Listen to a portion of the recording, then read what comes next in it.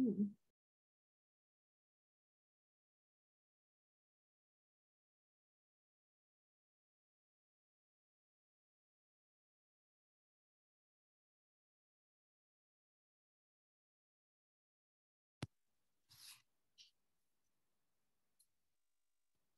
Good evening, everyone. Can you hear me? Yes, I hear you. Good Hi, evening. everyone. Good evening. I can ask everyone to please mute yourselves. We're a few minutes early. We'll let every uh, other people join in. Let me get organized, get a couple of things, and we'll get started in a few minutes. Good evening, everyone. Hi, Bonnie.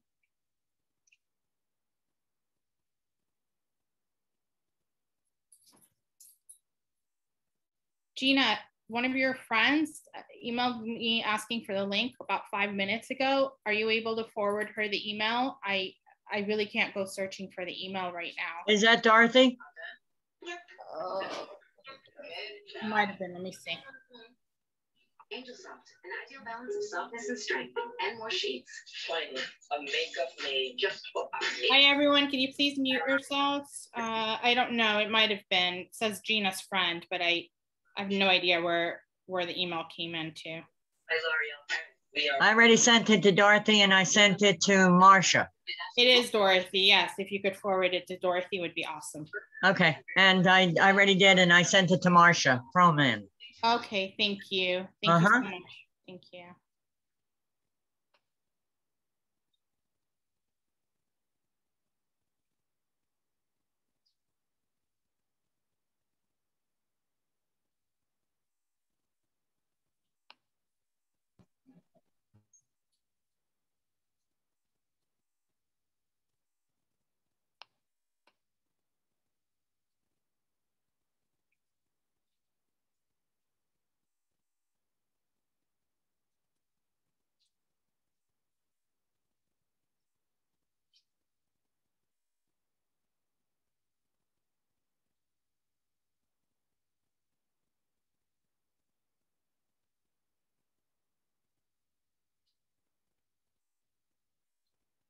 Good evening, Senator. Good evening, Representative Robaina.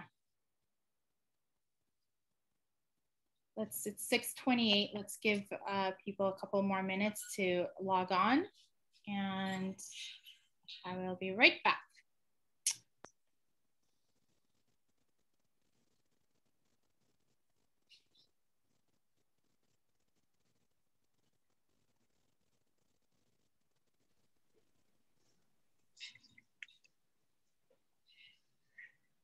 Hey, Anabelle.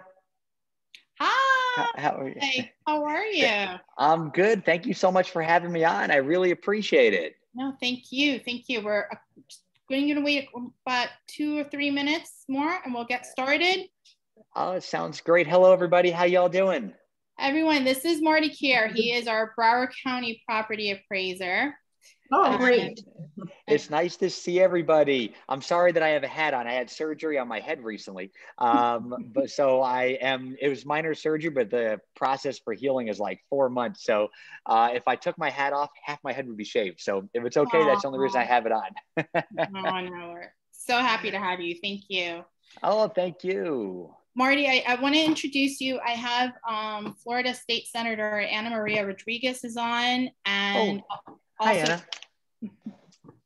Hey, Marty, how are you?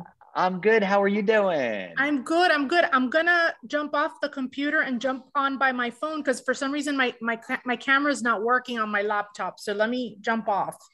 Oh, sure. Okay, we'll see you soon. And we also have um, former state rep uh, Julio Robaina on. I don't know if you. Hey, Yeah, Julio, Marty, how are how you, are you? man?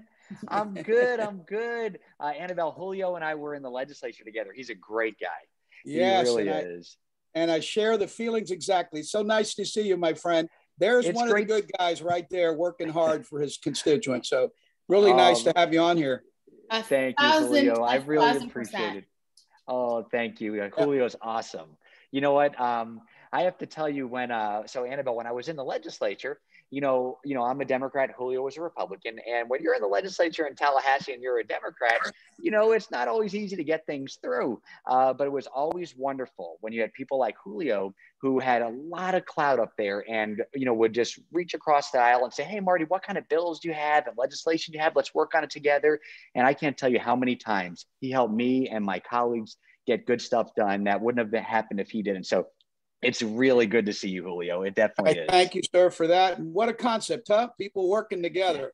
What's happening in this world we're living in? Oh, Incredible. toge- but Ed. You're right. W- Working And- together is the most important thing. Mayor Yes. Cooper, I see Mayor Cooper is on. Mayor, will you say hi? Hey, Julio. Hey. Hey, Mayor, how are you? been? Very Great nice. You. you know, you've got some great people on here, and I would tell you between Marty and Joy, Joy, I always tell everybody you were the first one to ever step up to help us deal with fraud and corruption in the city. That mm-hmm. you know it exists, and I always tell the story how you were the first one to step up and put it to work and watch what can be done when people work together. So, Yeah. God, I don't know what to tell you, Anabelle. You keep bringing these great folks, these meetings. Gonna have 200 people on here shortly. Really nice. Very nice. oh, gosh. Hey, So hey, how- Joy, how how's- are you? Wait, wait, good, thanks. Wait, how, how's the Miami Mafia? The, Oh the- my God! Don't- It's, the it Florida worse. Mafia- It The it Broward Mafia has always been better, but you know, Well, let me tell you, we in, I think in it's an inside joke, people. Trust me. I understand. We got But in things done because we got things done. Madam Mayor, I think Miami invents them, and then it mm-hmm. goes from here all around the rest of the state of Florida. It's terrible the stuff Yeah. that goes on, but this is a this is a good group of people that understands the subject matter, and that's why Yeah. again, thank you, uh, Anabelle, for putting these Yeah. folks. These people all know what we're going to be talking about very clearly tonight. So Good. I'm honored to be here. Uh, it's it's it's my absolute uh, privilege to know all of you and work with all of you. I'm very very lucky. I don't know if we have Commissioner Lazarow on or not. I think she said she was going to Just join. popped in. There she is. Ah, There there she she is. Hi, Commissioner. You want to say a couple words? Uh, I I do, but not at this moment. I'm sorry my picture is there and not my face, but I am here. I'm just in the middle of something and I don't think you guys are going to want to see me moving around. So I'm listening, but I will join back in after you guys resume. Hello, everybody. Hi, everybody. Hey, Michelle. Hi.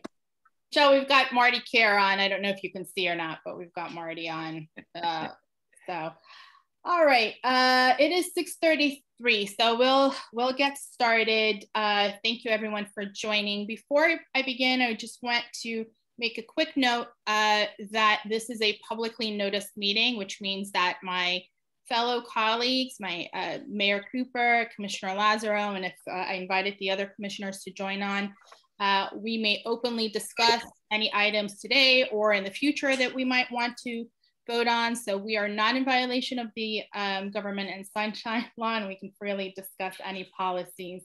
So now we can all uh, join in.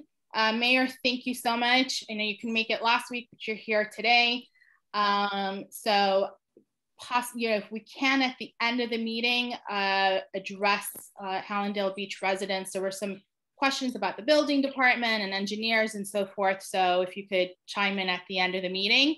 Uh, I know I know- we're uh, limited with time. I know uh, uh, Marty has to be off uh, by a certain time and the senator as well. So everyone, thank you for joining. We have your uh, one of the most uh, incredible uh, public servants, and I don't say that to be political. I really, really mean it. Marty Kiar, who is the Broward County property appraiser. Thank you. Uh, we have Senator Ana Maria Rodriguez. I am a Oh, big, hi, big Sen- hi, Senator. Hi. I'm sorry, I didn't say hello. Go ahead. Hello, Madam Mayor. How are you? I'm sorry, Anabelle. No, no, no, don't be sorry. Uh, I am a huge fan uh, because for the last few years, whenever I talk to anyone about condo fraud, and you're going to hear my little dog in the background, condo fraud, um, I, I really was met with um, like crickets. I felt like I was involved more in a monologue than a dialogue. It was me talking and everyone just looking back and being really not interested. Um, and you know, my the honorable, as I call him, um, Florida former uh, Florida State Rep Julio Robaina, the ordinance that we have in Hallandale Beach, a lot of the language uh, is due in part to your help. So this ordinance would not have been in place were were you uh, if you were not involved. So having said that, if we could please get started with Marty. Marty and I had a conversation earlier um, today, and he's going to tell you a little bit about how an initiative he worked on related to property fraud. Um, but also, very exciting is that he's going to work on the property appraiser's website to have a link to the Florida to the Hallandale Beach um, condo registration website and uh, to the yep and the ordinance and hopefully we'll have uh, further meetings regarding the ordinance and also i know i reached out to you but you said that the broward oh gosh broward palm beach and st lucie uh, realtor mm-hmm. association had already contacted you and i had contacted you today regarding adding to to the your website links to mm-hmm. all the municipalities so it would be really easy yes. for people to get to so i will let you speak i will be quiet now. Uh, if I can ask everyone except the mayor and the commissioner and elected officials to please kindly mute yourselves. We will get to your we will get to your questions. Marty, it's all you.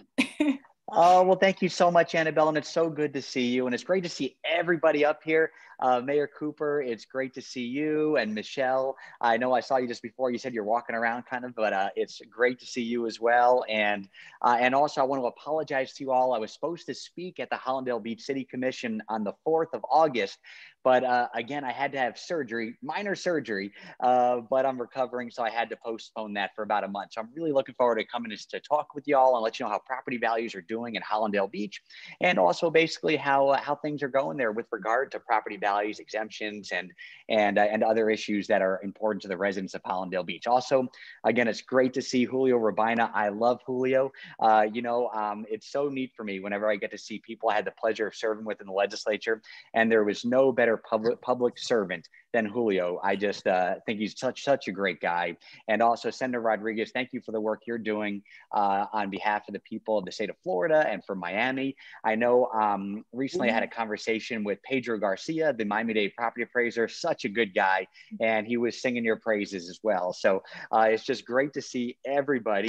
And I'll, I'll be very quick. I know you all have a long meeting, and thank you so much, Anabelle. I apologize. I have to jump off you know, after I'm done talking, only because I have another uh, speaking engagement uh, that I have to jump onto. But I was really looking forward to this because Anabelle has brought up, of course, some really important uh, topics that are designed to protect the condo owners and, and the and property owners of Hallandale Beach. And actually, uh, the ordinance, for example, that I know she's going to talk about is, you know, I, I, think other cities are looking at it. Miami has really uh, taken a keen role in uh, some of its cities adopting it. And so I think it's a great act. It's just a transparency act. I know she's going to discuss that a little bit more. Uh, but uh, she mentioned something that's very important. Uh, you know, unfortunately, what happened in Surfside was terrible. And that was, I mean, just tra- uh, travesty. It was devastating. I mean, uh, I can't even imagine what the, the folks of, you know, uh, are going through that lost family members and, uh, and are, are just suffering. And that really did, though, bring a spotlight on condominiums and on the 40 year inspection and uh, after that. And I think, and what happens with our office every single year, we send a list of properties to Broward County and also the cities about which uh, condo buildings uh, are ready for their 40 year inspection. And they ask for that, and then they ask for everything from 40 to 50 years, and they try to figure out which one hasn't gone through their inspection. And then the cities themselves uh, generally conduct the inspection, and they'll let the people know whether or not they passed or if they didn't. If they didn't, sometimes there are assessments. There's a lot that goes into it to bring the building and to make it safe uh, for the residents. And so uh, Anabelle and I did have a nice conversation today uh, where I know, again, she passed this great Transparency Act that really uh, gave the people that live in these condominiums the opportunity to be able to, to, to, to know things that they should know that their condo board is doing. Uh, and which is a great thing. And so, what we're going to do in our office, we were contacted again by the Broward Palm Beach St. Lucie Realtor Association. There are uh, many thousands of realtors throughout the three counties. And what they asked us was they wanted to find an easy way to be able to find information about different buildings that have either passed their 40 year certification or uh, have not yet gone through it. And it's very difficult to find because, again, every city generally does it on its own. And you really can't open up a website for many of the cities and find out any of that information. You have to figure out the department, figure out who to call, get in contact with them, sometimes do a public records request. There's a lot that goes into it. So they asked us if there was a way we could work with the cities to make it a little bit easier for people to ascertain that very important information. And so we've been going through it and we're still working on it. But one concept that we came up with, our website, we have two websites web.bcpa.net and bcpa.net. They're two almost identical websites. One's just easier to use with smartphones, uh, but the other one's been around for a very long time. So uh, many people utilize it every single day. So we would never get rid of it. Uh, on both of those, there are going to be different links uh, to um, the cities. You can click on the link and you'll see all the cities that um, do their 40 year inspections. And then you're going to have, you know, if they have anything on their current web pages pertaining to any any information with regard to the 40 year inspection, we'll have links to that. If not, we're going to put all the contact information in there for residents to contact. So it can be like a one stop shop so people know exactly this is who I have to contact to find out about this building. And Anabelle, you know, I know she's going to talk about uh, the great ordinance that I thought was great was actually adopted unanimously by the city of Hallandale Beach, which is a great thing. Uh, and we're going to um, make a uh, uh, put a link for that also on there as well. And also, I'm very much looking forward to working with Hallandale Beach to provide easy information to residents with regard to that. The second thing that I wanted to talk about, and I really appreciate Anabelle allowing me to speak about this, is what we call our new owner alert program. And I'm very proud of this program. This is a program that we developed in house. We spend no taxpayer dollars doing it. And we've actually, and it's been a really good success designed to protect the people of Broward County. And here's what it does. Unfortunately, South Florida is the title fraud capital of the world. You have a lot of terrible, unscrupulous, I think, criminals that do terrible things to people with regard to their property. And here's what they do the recording divisions for every single all the counties every county in the state of florida has a recording division. And they have to accept any document filed with them. Their job is ministerial. They can't verify anything. They have to accept it. And so what occurs is people these criminals file fake deeds on people's property. And then what they do is they take that fake deed and they try to extort people for money or mortgage rent or sell somebody's property. To give you let me give you a couple examples one thing that they like to do is they like to go through people's social media accounts and they see when you're on an extended vacation and they'll say, okay, I'm going to file a fake deed on this person's property. They'll then take that deed and do something pretty bad to it. And then what the, uh, to that property. Another thing, another example, it happened actually in Broward County not too long ago, where you had this terrible individual filed a fake deed on a 97 year old property, his condo. He then showed up to his house and said, Hey, I now own your property. You have to give me 5,000 bucks. And the guy got scared and he did. And the guy, of course, ran away. They never found him. It's really terrible. Uh, to give you an idea, I learned, you know, recently that the FBI has 50 active, massive criminal investigations going on in South Florida alone against people doing this on massive scales. And so we wanted to give the people of Broward County the opportunity to protect themselves for the fraud, uh, from this fraud. And here's why: because when people do this, generally they're never going to get your property, but it's going to cloud your title. And then what's going to occur is going to cost you a whole lot of time and a lot of money to try to clear that up. And so we wanted to help people, give them information before the fraud can occur. So we set up the owner alert program, again, that was developed in house, and we spend no taxpayer dollars doing it. And here's what it does uh, if you go to web.bcpa.net slash owner alert, you can then type in your name and you can type in your email address. And if we have your email address on file already, then what occurs is you are already uh, verified, you are good to go, and you'll be alerted if somebody files something on your property. If we don't have your email address on file, then what occurs is we ask for your Florida driver's license information, your Florida ID information. If we don't have that, there are other ways to get verified. Once you're verified, if somebody files a, uh, if any document changing ownership on your property is filed, you'll be in, instantaneously notified. And so you can protect yourself uh, in case anybody uh, tries to uh, defraud you out of your property or files a fake deed on your property, it's a great thing. So far, in just the past few months, we've had 119,000 Broward County homeowners sign up for Owner Alert, and we've actually notified about 4,000 people uh, that um, have where their ownership has uh, changed hands. And many of those, most of those, hopefully almost all of those, were legitimate. Uh, but I did hear there were a few that were not, and those people then took the appropriate steps to be able to protect themselves. Um, with that said, uh, Anabelle, I know you all have a very long meeting. Uh, I've had a lot of coffee today, uh, so I could talk forever. But if anybody has any questions, it would be my absolute pleasure. I do think somebody typed uh, asked in the chat if I would put the um, the address in there for it. Uh, I know Anabelle put it in there. Uh, Anabelle actually put it in there, which is great. does anybody have any questions? There is a question um, from George for you, Marty. Marty, Sure. what has happened to property values since the Surfside tragedy, especially in Mm. older condominiums? Thank you from Canada. Sure. Thank, thank you, George, for that question. It, well, right now it's it's too early to really determine whether or not that that has had an impact on property values. The one thing I can tell you uh, for certain is that the property uh, market in South Florida is on fire right now. And that's with condominiums, it's with single family homes. I mean, people are paying a lot of money to move here. And so many of the people moving here are coming from the north. They're coming from New York or Connecticut or Cal- even from California from the west. Anywhere where there's a state with an income tax, people are leaving there and they're coming to Florida to live here.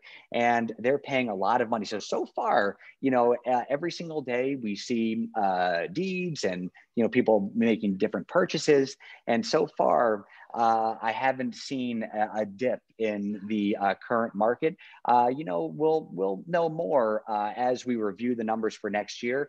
But uh, but right now, uh, the one thing I can say almost for certain is that our you know people are paying a lot of money for properties, and I do not I there we haven't seen any indication of any decrease in property values as of yet.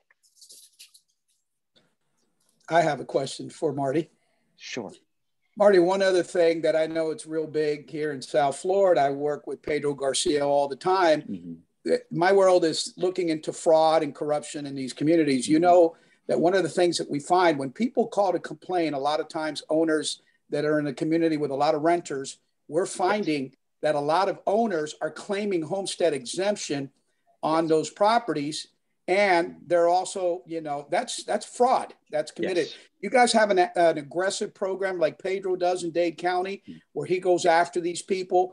There's a crime mm-hmm. involved. They have to back pay it because that's becoming an incredible daily fraud. Leave it to miami-dade county to be number one in that. So that's my only question. Are you guys tackling that Oh, yeah. issue That is such a great question. And and Julio, I, by the way, I love Pedro. He is such a great guy. He's such a gentleman. He works so hard for the people of Miami Dade. And you're right, he does have an excellent, excellent fraud division in Miami Dade County. And one thing uh, that I think is great is the three South Florida property appraisers the, of the big counties, uh, Pedro, myself, and Dorothy Jacks, the Palm Beach County property appraiser. We actually work together on a whole lot of these issues. And what we do is we actually share from our offices what really works, what hasn't worked, and uh, our fraud divisions is something that we've actually all worked on together as well. Uh, and you know, sharing uh, when we get together, we talk about different things, you know, what we're doing. And uh, in our office, we have a very, very aggressive fraud division. You know, my view is this: if somebody's entitled to a homestead exemption or any type of tax saving exemption, they should get it. They've earned it under the law. That's their exemption. However, if somebody isn't doing it and they're knowingly frauding the system, they're basically getting a tax saving exemption on a property when they're not allowed to get that exemption and they're getting a tax break. That's wrong, that's inappropriate, and that is big time fraud. And the penalties are also big time as well. Because if somebody does that, if they claim improperly a homestead exemption, our office is allowed to back tax people up to 10 years uh, in, it, it include a 50% penalty and 15% interest. They can owe many, many thousands of dollars. Uh, but you know the reason that's the case is because the legislature wanted to deter people from cheating the system. And to give you an idea, our fraud division has put many, many billions of dollars of value back on the tax roll that people have to pay taxes on, and we've collected about 70 to 80 million dollars in back taxes uh, of recent years and have returned that to the taxpayers. So it's it's something we take very, very uh, seriously. We also in our office just about every single person in our fraud division are retired law enforcement officers. And that's something I like very, very much because they believe it's almost like their public duty to find people who are frauding the system. And then there are other things that we do as well.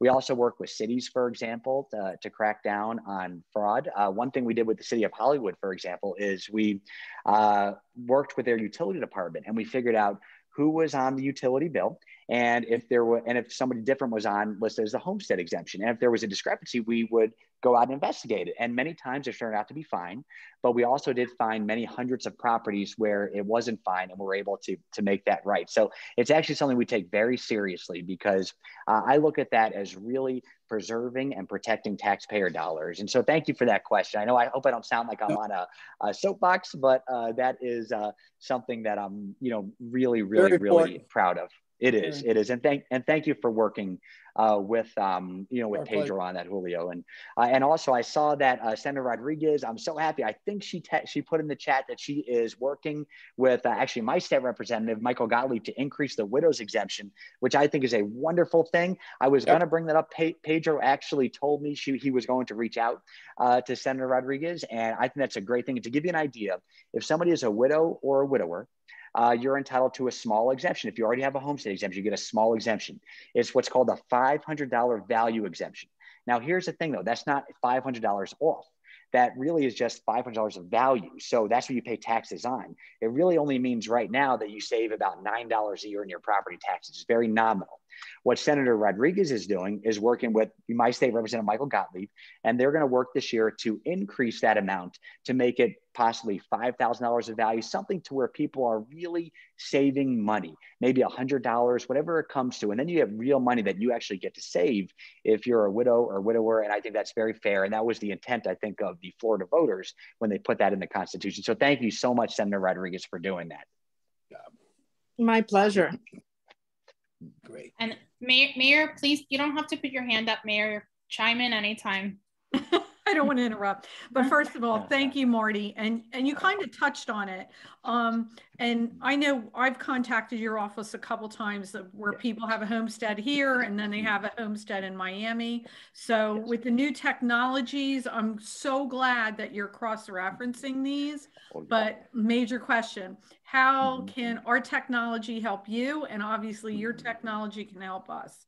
So. Oh, tell me, a, unless you want to do it offline, how we can oh. ensure that we're doing our cross referencing as well. That is such a great question. I appreciate that so much, Mayor Cooper, and thank you for the great work that you do for the, the people of Hallandale Beach as well. And uh, you know, we've been friends for a long, long time, and not that uh, long, just, not that long. ah, it's been a couple decades now. You know what I mean? It, it definitely has, but it's uh, so, but um, but you do you do awesome, and uh, um, so uh, you know, well, there are a number of things we can do with the city. One thing, if you all would like, is I you know, like I said, when we worked with Hollywood, in particular with the utility bills, uh, right. uh, that was very helpful, especially when you have communities where you have lots of condominiums.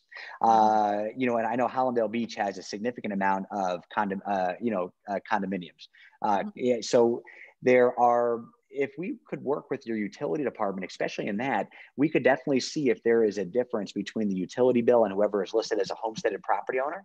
And then that would just give us an idea as to, okay, let's just go investigate this to determine whether or not uh, the people that are there are, should still be homesteaded or if they're renting the property or something of that nature. And really what will occur is if we find out that they're renting the property, we'll just really just, and it's innocent, we'll just adjust the value uh, to reflect what it, what what it should be. To give you to for the folks on the on the Zoom call, the way it works is when you file for homestead, the Save Our Homes Assessment Clause of the Florida Constitution kicked in, and what that means was, and what that means is every single year after you have a homestead exemption, the value you're taxed on can't go up more than a maximum of three percent. So over the over the years, if especially if you're a longtime property owner, your market value gets very very high, but your assessed value is capped; it stays low. So you have all this value you don't pay taxes on if you start renting your property and you you know and you're you know no longer homesteaded that at that property then what would occur is you would lose all of that value we would reset it to market value and you would just pay you would just pay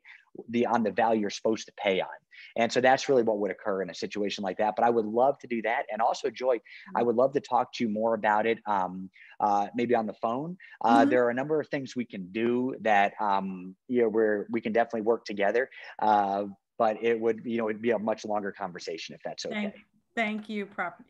Thank you, property appraiser. Always Marty. Thanks. But thank, thank you. Does anybody else have any other questions? You guys are great. So before you get off, if anyone has any questions, I don't want to put Commissioner Lazarow on the Actually, I spot. do have a question. There you Oh, are. Hey, hey, Michelle, how are you? Good, Marty. How are you doing? I'm doing great. You'll be very proud of me. We actually, it wasn't a dog, but we just uh, rescued a little kitten from the uh, Broward Animal Care, and um, we're so excited about it. Yeah, my uh, the way it worked was my daughters uh, they go, "Hey, Daddy, can we have a kitten?" I go, "Absolutely not. We already have a dog and a cat." And they go, "Well, if we get a kitten, we'll make the middle name Marty." And I'm like, "All right." So I gave. I'm such a pushover. So it's Maggie Marty. So so that's her that's her name, but she's been just a joy. Well, that's great. I'm sure Commissioner Taub's also very happy to hear that. Um, we're working on some initiatives in Hallandale, so we'll. I'm sure you'll be hearing more about that. Oh, that's great. That is great. Um, so, you know, we had two things happen. One is, first of all, thank you for helping my senior who had changed her homestead and explained to her that she was not available to do it this year, but that it would come next year. And you guys walked her through that because she's not computer literate. Thank you for that. I greatly appreciate Oh, that. And that my pleasure. know your office is very uh, willing and ready and able to help them. The other thing is that I want you to just remind everybody that there was a case here where his mother died. He was living in the apartment and she hadn't deeded or claimed the Yes. property to him, at which case his, his tax rate then went up. So can you Yes. tell people what they can do to protect themselves in case they want to leave their homes to their roommates or to their kids? Yes. whatever? Okay. That that is such a great question. Now, um, when I answer uh, this question in particular, the first thing that I have to to make reference to is that every property appraiser throughout the state of Florida treats this a little bit differently. Uh, this is uh, basically an issue where the law is very gray, so we're able to to have some uh, some leeway here. And uh, here's what we do. Uh, here's what I always tell people in Broward County. So let's say you're a mother and you own a property, and let's say you've been there for a very long time. Well, if you've been there for a long time and it's been your homestead for a long time, your assessed value is going to be much, much, much lower than your market value because of that cap we spoke about before. Now, what will occur is let's say that mother has an adult son that lives with her, and the adult son's not on the deed and not homesteaded. And mm. then if the mother passes on, uh, what will occur is because the son was never put on the deed and never homesteaded at that property, the, the, the, the value gets reset to market value, which basically means the amount of value that the, the son will now pay property taxes on is going to be much greater than what his mother's value was. And maybe the son couldn't afford the property at that time. So there are ways to where a, uh, that mother could protect her son from that occurring. And in Broward County and in many other counties, this is how we interpret the law basically if uh, if you uh, change the deed uh, you add that your son that if that mother added her son while she was alive to the deed as joint tenants with right of survivorship and then she also made it his homestead then what would occur is when she passed passes away he would then take the property but because it was already he was on the deed and it was his homestead the value that he pays tax on would basically be the same as what his mom was paying taxes on. He wouldn't lose all of that save our homes value that was uh, accumulated. And so that's one way that that mother could have protected uh, her son in the situation that I gave. A couple things though to note is if you you if let's say you're in that situation you really need to trust your son or daughter you're putting on the deed with you uh, because uh, once you put somebody on the deed with you they're then now owners of that property as well and you can't do anything with that property unless they also agree to do it. Uh, so there are a lot of different situations but i always tell everybody in broward county what I've learned about property is every situation is unique. Uh, what may work for one legally may not work for another legally. So I always tell everybody if you, whatever your situation is, email me at martykiar at bcpa.net or call me and we'll go through your situation together along with our staff. And then we'll go through it and figure it out. And we'll give you as much guidance as we possibly can so you can make the best decision for you and your family. I, I hope that that answered the question, Michelle. You did. Thank you. Thank you. Oh, and thank thanks you. again for everything you're doing. Oh, thank you. And thanks you again for inviting me on the forum. Joint, joint, can you just say it one more time? Joint survival right of ownership? Oh, yeah, it's a, a joint tenancy with right of survivorship. Okay, thanks. close. Jo- or joint tenant survivor- survivorship. There's um there's a few. So you have tenancy in common. If you have a if a deed that's I don't want to. I don't want to. I don't want to take up any more of her time. I just wanted Oh, to- okay. Yeah, so this would be joint tenancy Okay, right of on a survivorship. big agenda. You know, you know, so I got very excited because I know you do. I know, Marty. It's so great. Thank you. Thank, thank you, Michelle. Thank you so much.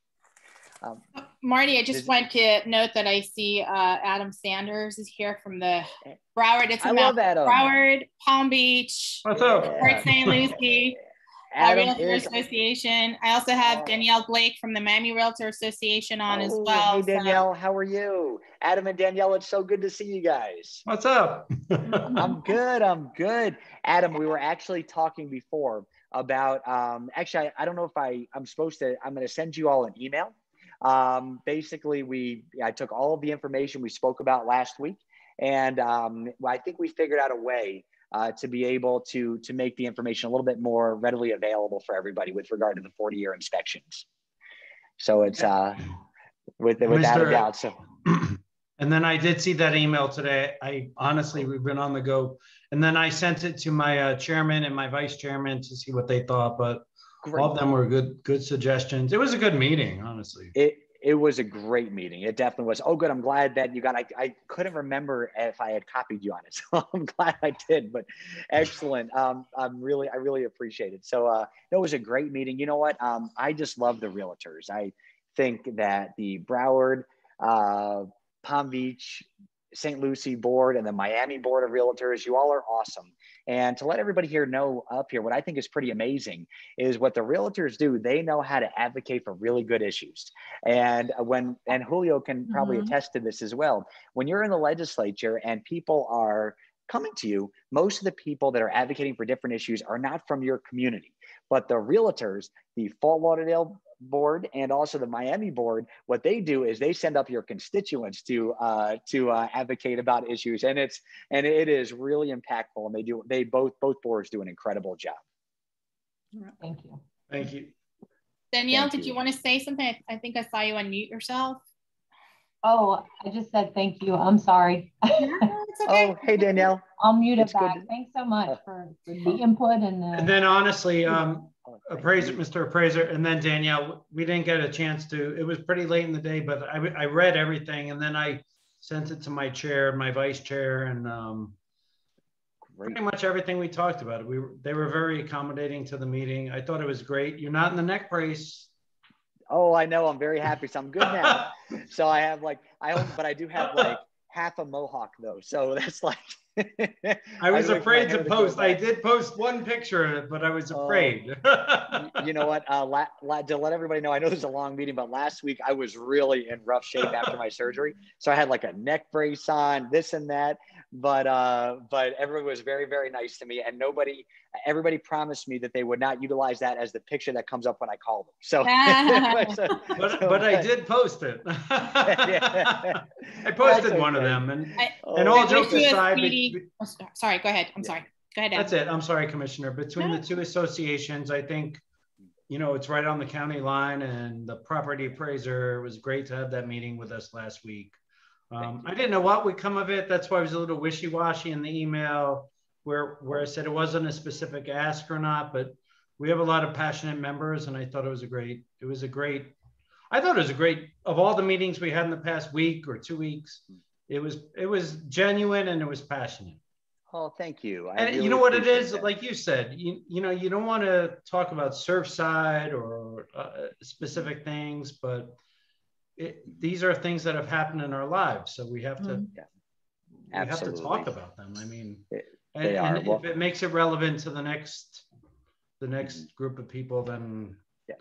then we'll talk about it. And it's, it's relevant, Absolutely. relevant to the families as well. Too. It is. yeah. And, and I think that's why the, Thank you. Really, Yes, yeah. absolutely. And I think that's why the, the appraiser, we don't feel comfortable talking about these things, but we need to sometimes if we can, Yeah. like you just said, Madam Mayor. Yes, absolutely. Absolutely. Well said, Adam, without a doubt. But, um, well, thank you I'll guys shut very much. There's, no, no, you guys are awesome. Like, does anybody else have any other questions? Is there uh, anything else I can do? Well, I'll tell you. Uh, uh, I don't know if this is for you or not. It might be for the senator, or but is there any additional requirements for for the 50 year old buildings? Oh, um, that That's is a about question. to change. That's That's all about to change. So we want to get into that subject matter. So we'll get Um, into that. Let's let's um let's let Marty. I know Marty has another meeting. So first, I I want to wish you a speedy recovery. Um, Thank you. thank you for always being so you know responsive and you know so amenable always super friendly i'll never forget the Oh, first thank you. friendly person i met in 2016 when i decided to run and you were so kind to me and i Oh, had no idea what i was doing and That's you Marty. really- oh, thank you you. really Oh, made me feel uh comfortable i felt like i was in a room Oh. full of wolves and then there was you and it was Oh, you know I won't forget thank you. Thank you, Anabelle. I really, We're in really a room appreciate full of wolves. I was in Oh, that room. Okay. Room full of wolves. yeah You- so Well, Uh, but- you, thank you. That's so nice. You all are awesome, and I just uh, can't tell tell you, Anabelle, and everybody on here. Thank you so much for inviting me on, and and also just to let everybody know, uh, you're about to receive a document from me in the mail. It's the trim notice, the truth and millage notice. It's a document to make sure that your tax bill that comes out in November is going to be correct. If you have any concerns, call me, email me. You have till September 20th for us to go through it. But with that said, Anabelle, you're awesome. Thank you all so Marty, much we'll for you having me at, on. we'll see you at our meeting in September, Yes. yes? Yes, I'm real excited about it. And thank you, Michelle, for inviting me on the fourth. Like I said, I it's because of the surgery I couldn't come, but uh, but I'll definitely be there on the fourth, and I hope you all won't mind. I'll actually have a hat on if that's okay. All But right. It's just for the next couple months, but I'm really looking forward to seeing y'all. Okay, we'll Thank see you. you then. speedy Thank you. recovery Thanks. care, Bye, Marty. everybody. Oh, you Take too, Julio. my Great to see you. Take Nice care. seeing you, my friend. You too. All right. Uh, thank you again, Marty. Um, I think, you know, for the residents, what I really want you to take away is that there are different um, electeds that are, are working towards targeting, targeting fraud. Um, and, you know, I, I, I think we're the only state, so the Broward Property Appraiser's Office is the only uh, office in the state that created this um, property alert um, uh, to tackle fraud. So I don't know if in the country, but definitely in the state of Florida. So we're really we're really lucky. I mean, in some in some ways in Broward County we're really behind, and then in other ways we are uh, really uh, you know setting uh, precedents. Uh, I do want to bring this up. I don't know if you know this um, representative, but Bay Harbor Islands is actually has the model of the ordinance that you and I worked on. They have it on the agenda for tonight. So it's first reading. So yes, thank you. So hopefully, hopefully it'll it'll pass. And um, uh, I'm in talks with a, a few other elected officials, and hopefully we can we can we really what we want to do is to have to the counties that uh, follow the same model or or similar models. But It's, you know, it's, it's being shared on the task force as well. I just sent it to all the members of the new 40-year inspection task force, as well as the executive director of Broward League. So. we're- we're- Awesome. Thank Thank you, Mayor. All right, let's get right to the questions. Um, and also, uh, it really, really important to note what Senator Ana Maria Rodriguez does and has been doing. And I think it's been a very lonely uh, sort of, you know, place for her fighting for condos because it's not really an exciting subject. But I let me just give you a little anecdote. So right after the collapse uh, I think it was a week later or maybe 10 days later, I did a quick interview with Channel 6. And the reporter says to me, Oh, uh, she was talking about the, the Bar Association, that they were going to come up with a condo task force. And I said to her, Oh, no, no, no, no, no, no, no, no, no, no. You need to call Senator Ana Maria Rodriguez because she actually brought this up, and I'm sorry to refer to you as she, but uh, you know, uh, she brought it up. Senator brought it up uh, and couldn't get a co-sponsor. So you really should be calling her and talking to her because this is just somebody is taking on what she's worked on and uh, you know really copying it and it's not you know it's it's it's disingenuous so you know we have to give credit where credit is due and actually if anyone wants to look back earlier this year I sp- sponsored a resolution in support of that, and the entire commission um, supported it. So this is this is all you, Senator, and uh, of course Representative Robaina. So let me get straight to the questions, and then towards the end we might have some more city-related questions that Mayor and, and Commissioner can probably get to. But let's get let me get through with a couple. Let's start with what can you do when the president of the association refuses to have elections? And Senator, if you want, if you'd like to chime into any of these, please do. So what can you do when the president of the association refuses to have elections? So, uh, Commissioner, first of all, good evening. Thank you so much for inviting me. My name is Ana Maria Rodriguez. As you said, uh, I'm a state senator for District 39, which is just to give people a reference point. It's the western part of Miami Dade County, like west of Doral, uh, all the way to the county line. And then it goes all along the western part of Miami Dade down to Key West. So I actually represent Monroe, all of Monroe County and all the all of western miami-dade county um, mm-hmm. and just to also kind of give you a little background um, i served in the florida house of representatives for two years um, representing doral all the way to collier county i represented naples as well and a piece of broward county i was part of the broward delegation uh, for two years. And then uh, prior to that i served eight years in uh, the city of doral city council. So i'm intimately familiar with city issues and local issue home rule issues. And uh, it's such an honor to be here with uh, Marty, uh, with Representative Robaina, uh, yourself, Commissioner, Mayor Cooper, Commissioner Lazarow as well, um, and all the residents of Hallandale that are Hallandale Beach that are on this call, as well as my colleagues, um, Danielle Blake, who I work with at the Miami Association of Realtors. I just want to mention, give a plug to my association and say hello to Adam Sanders from our from the other Realtor Association in Broward. So um, to kind of give you all an idea of what uh, Anabelle was referring to, Commissioner. Um, oh, Anabelle's perfect. Anabelle's perfect. Commissioner, Commissioner.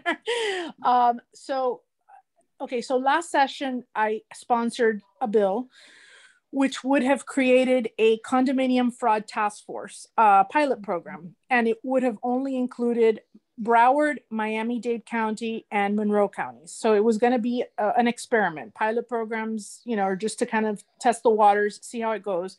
Um, and so the bill uh, basically did not get a hearing. It didn't move. As so, so just to kind of reiterate what you said, you know, I was I was filing this before it became a thing, before it became the talk of the town uh, after the Surfside tragedy, which um, was a huge uh, turning point in our in our community and a huge wake up call. Um, from a construction standpoint, I would say yes, of course, it, is a turning point from the construction standpoint, but I think it's e- even greater turning point from the condominium standpoint, because um, a lot of these things could could be avoided um, and and should be avoided. So what does this bill do? And I and I'm I have the bill in drafting right now. Uh, so it's, I am planning to file it again this session. And I know that many of my colleagues are probably planning to do uh, leg- other pieces of legislation addressing uh, condominiums as well as construction. But I really feel as if um, you know the the Florida Building Code is is one of the strongest in the nation um, currently. And I think in South Florida, particularly, you know, uh, I, I, I don't know that the construction is, is really the, the uh, culprit as much as the lack of funds that were that the condominiums are setting aside to address these deferred maintenance issues. Mm-hmm. Uh, but my bill doesn't address anything to do with, um, you know, making um, the mandatory, you know, the, the minimum, the 10% um, budget reserves. I, I'm not even talking about that in my legislation. I just want you all, but I have a feeling that some of my colleagues may be bringing that up because if, a, if a, an association doesn't have the, the minimum uh, reserves uh, in their accounts, you know, and these, and an engineer comes and says you have to do A, B, and C, and you don't have the money, and everyone on, you know, votes and says no, we can't do it because we don't have the money, then you, you know you're going to see a lot of you know bad things happening over the next few decades if, if we don't if people don't address these problems. But in terms of the actual uh, fraud that's happening on the ta- on, on the in the condominiums i'll talk to you about the legislation. So what we do is we would be again um, creating this task force. It would be under the office of the attorney general uh, which is ashley moody. Um, i think it's important to have our state attorney general be the the arbiter, the one overseeing this um, this uh, task force. Uh, we would create a public-private uh, partnership uh, with retired law enforcement, similar to what Marty just said um, with what they're doing, that they're using retired law enforcement. We would uh, do the same, and they would be specializing in fraud and corruption in condominiums. Um, the uh, ombudsman who was on the call last week, uh, Spencer Hennings, would ostensibly be under the attorney general's office and not under the DBPR. That's that's one of the things that my bill would would address. Um, the other thing uh, that the, it, that it does is it establishes the ombudsman office responsibility to screen complaints and to forward the findings to the correct agency for investigation. So let's say the occurrence is in Hallandale Beach, and so what we would do is have the attorney general's uh, office you know do all this through the through this task force they would do all the investigation basically wrap it up put a bow on it and then send it to your state attorney's office so that they don't have to expend resources on uh, investigating a lot of state attorneys including the one that where I live in Miami-Dade County, have have had some pushback. They've expressed a little bit of apprehension because their budgets are extremely limited, um, and so they aren't getting increases, you know, year over year. They're they're literally just barely, you know, keeping their budgets intact. So for them to take on an additional responsibility like this is, is a very daunting task. So um, we're looking at the pilot program being done through the Attorney General's office, and I'll explain the funding for that in just a minute.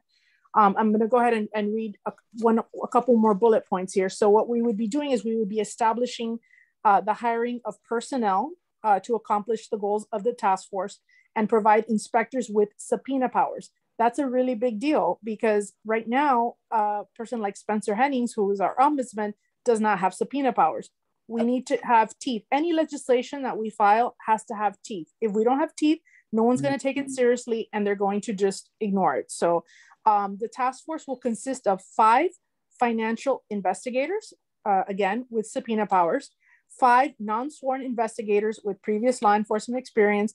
FDLE shall provide five certified law enforcement officers, again, with subpoena powers, arrest powers, and with the ability to present criminal cases to the state attorney's office, having jurisdiction. And lastly, the task force will be funded um, through the Florida Condominium Trust Fund. This is already an existing revenue source for the state of Florida. We already have money coming in uh, to mm. that. So it's not as if we have to create a new funding source. We don't have to take it out of general revenue, as somebody suggested today that I spoke to uh, offline uh, no, we, this is all going to be done um, through an existing uh, recurring revenue uh, stream. Um, so with that, um, we can go ahead and start the questions, but that's just an overview of, of the legislation that I wanted to kind of share with everybody. And Julio, if, if there's anything I missed or that you would like to add to this um, summary, feel free to chime in. The only thing I want to tell you is thank you. We have a lot of laws, but we don't have the way to actually enforce. And it's time that we start enforcing what we have. This is the number one complaint, Senator, that you mm-hmm. have gotten. Danielle will chime in and tell you we've worked together. This mm-hmm. should have been done a long time ago. Unfortunately, it took a tragedy. And have you noticed that there's negligence and all kinds of other things that are involved in the problem that happened? Uh, unfortunately, the situation in mm-hmm. Surfside. This, I mm-hmm. think, is the most awaited and longest needed piece of legislation ever because DBPR, in my, in my eyes, they're administrative. Let them do the administrative, but where is the criminal element? Where's the side where these state attorneys say, I don't have manpower. I'm going to use Hallandale, if I may, for a second as an example. If it mm-hmm. weren't for your mayor, Mayor Cooper, when we had a problem at Parker Towers or Parker Plaza, Plaza, Parker Plaza, if you guys wouldn't have dedicated a wonderful detective, which was willing to do an intensive investigation, Mm-hmm. Never would those arrests have taken place. And those people would have been defrauded about out of lots and lots of money. So what you're doing is excellent. And I commend you. I know it's not going to be easy, Ana Maria. There's going to be a lot of pushback. Yeah. We all know I'm not going to mention them because there are people online I can see that are from a certain background or profession that are not going to like this. But you know who's owed this? The residents of the state of Florida. And why are we doing it in pilot? Because if it's not happening in Dade or Broward or Monroe, it's probably not at the level that we experience here. Mm-hmm. Kudos to you. Thank you so much. And bring on the questions because this is a no brainer for me. Okay. May I just right away? Because I was like, first of all, thank you. And I, and I agree. And I, I actually, from the result of that, we actually pushed to have like white collar in our police department. Mhm. So, so our residents know that, um, you know, and, and these investigations are extensive. They're Mhm. long and, you know, you have to have that wherewithal to have, um, the financial, um, ability and forensic ability that I think is extremely important. Now, I know, um, uh, that everybody's bringing up on my task force now this four dollars per condo for timeshares so on and so forth. So that would be that fund. Now dpr controls that fund now or is it controlled by a separate trust and they dpr goes and then mr hennings goes or, or i need to be The educated legislature, the legislature controls it. So they control it. So it's not in their department because the other focus that is going to be on, and, and I think it's critically important. I keep hearing it. Everybody hears it is a requirement for education, education, education. So I think you're going to end up hearing that out of Broward. Um, we'll see how it goes. They've already added on another day to the task force, but I was just curious because, um, and I think this is a bill that um, the ombudsman supported as well, correct? Yes. And, and let me jump in I on think that. that's really cool. No, because I, I, you know, it, with everything that happened with Champlain Towers, uh, I'm hearing the dialogue. It's good. They're going to start going to this four dollars, and I think they should. I mean, it shouldn't be swept. Uh, you know, this whole conversation of there shouldn't be trust funds and we should control everything. It's a trust fund for that. So, mm, so Mayor Cooper, just to clarify, um, the ombudsman technically cannot take political positions. So Correct. he isn't- Okay. he's not Correct. technically in favor or against this bill. Oh, You know, he's So kind of like an back. I take that back. independent. And I Yeah, so- misspoke because let, let me jump in, uh, Senator, if I may. I created through legislation the ombudsman's office. That's my child. And I know what his intent was, was to have teeth and to have power. What it ended up being was unfortunately a person who's in a division which again controls him. And my goal when we established an ombudsman, it took a lot of pushing to create that office, became a toothless tiger. I guess that's the terminology. So it's mm-hmm. been me the whole time. I want to be clear. Spencer doesn't give opinions, and he does what the legislature does in the form of setting policy. That's why I and the senator and, and Danielle, we've worked on this. We need to put him somewhere where he's not going to be hindered. That's my opinion in the attorney general's office. It's a no brainer. And his budget will be paid, as the senator explained, and I know she has to go real mm-hmm. soon.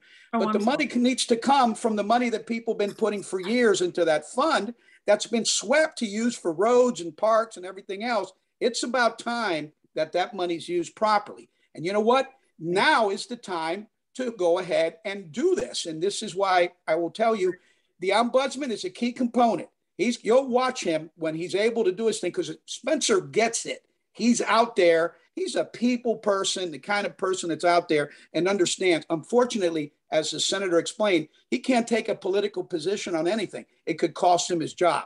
But we can, the senator can, we can advocate for him. And Mayor, you've been there. Your city was one of the test grounds of what can happen when we start doing these type of programs.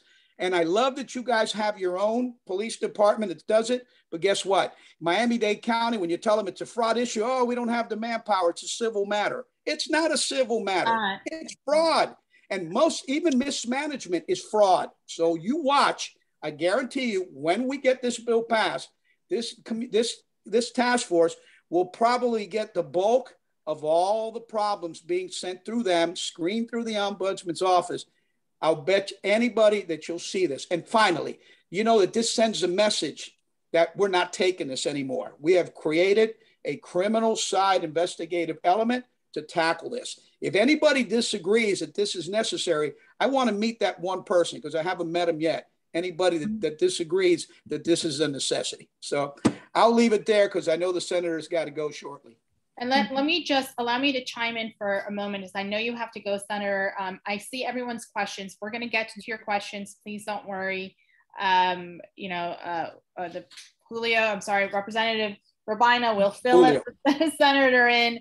Um, but you know, I, I have some HOA friends and neighbors that feel mm-hmm. not in my HOA, but other HOAs that feel like the step stepchildren, so to speak, and wanted to know if you would advocate for them as well because they, uh, you know, they experience similar issues within their respective HOA. So I know there are a couple of them on here from an HOA, and I don't want them to. They felt left out last week. I want them to feel left out this week. HOAs, if I may, very quickly. Unfortunately, they're not regulated through the state of Florida, so they don't pay. We've been trying to model 720, which was what regulates uh, HOAs under 718. It should be a mirror, but it's been a problem. If they were regulated, it'd make it easier. However, one provision that you will see, because it's in some of the language, is to start providing HOAs with the with the powers of the ombudsman, which he'll still carry over into the attorney general's office to on the part of elections and be able to call an election fraudulent and be able to do that.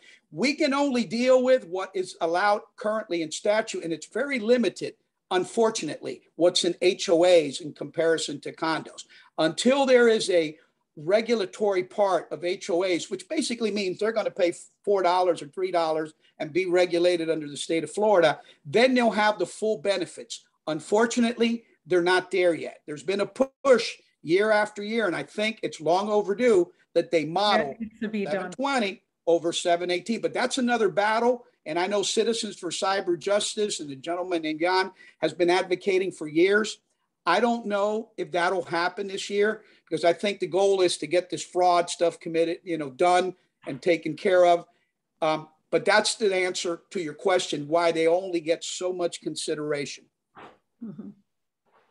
Thank you. Just to answer the first question, which was if your uh, so if your condo uh, president isn't willing to hold an election, you need to call Spencer Hennings. You need to call him and let him know because that's his job. He is there to help you know normalize and, and get things on the right track so so if you are experiencing that um i don't remember who asked that question but yes please call him and he will you know he'll, he's very good at responding he's very um, good at being there present and if it's not him somebody that works with him will be there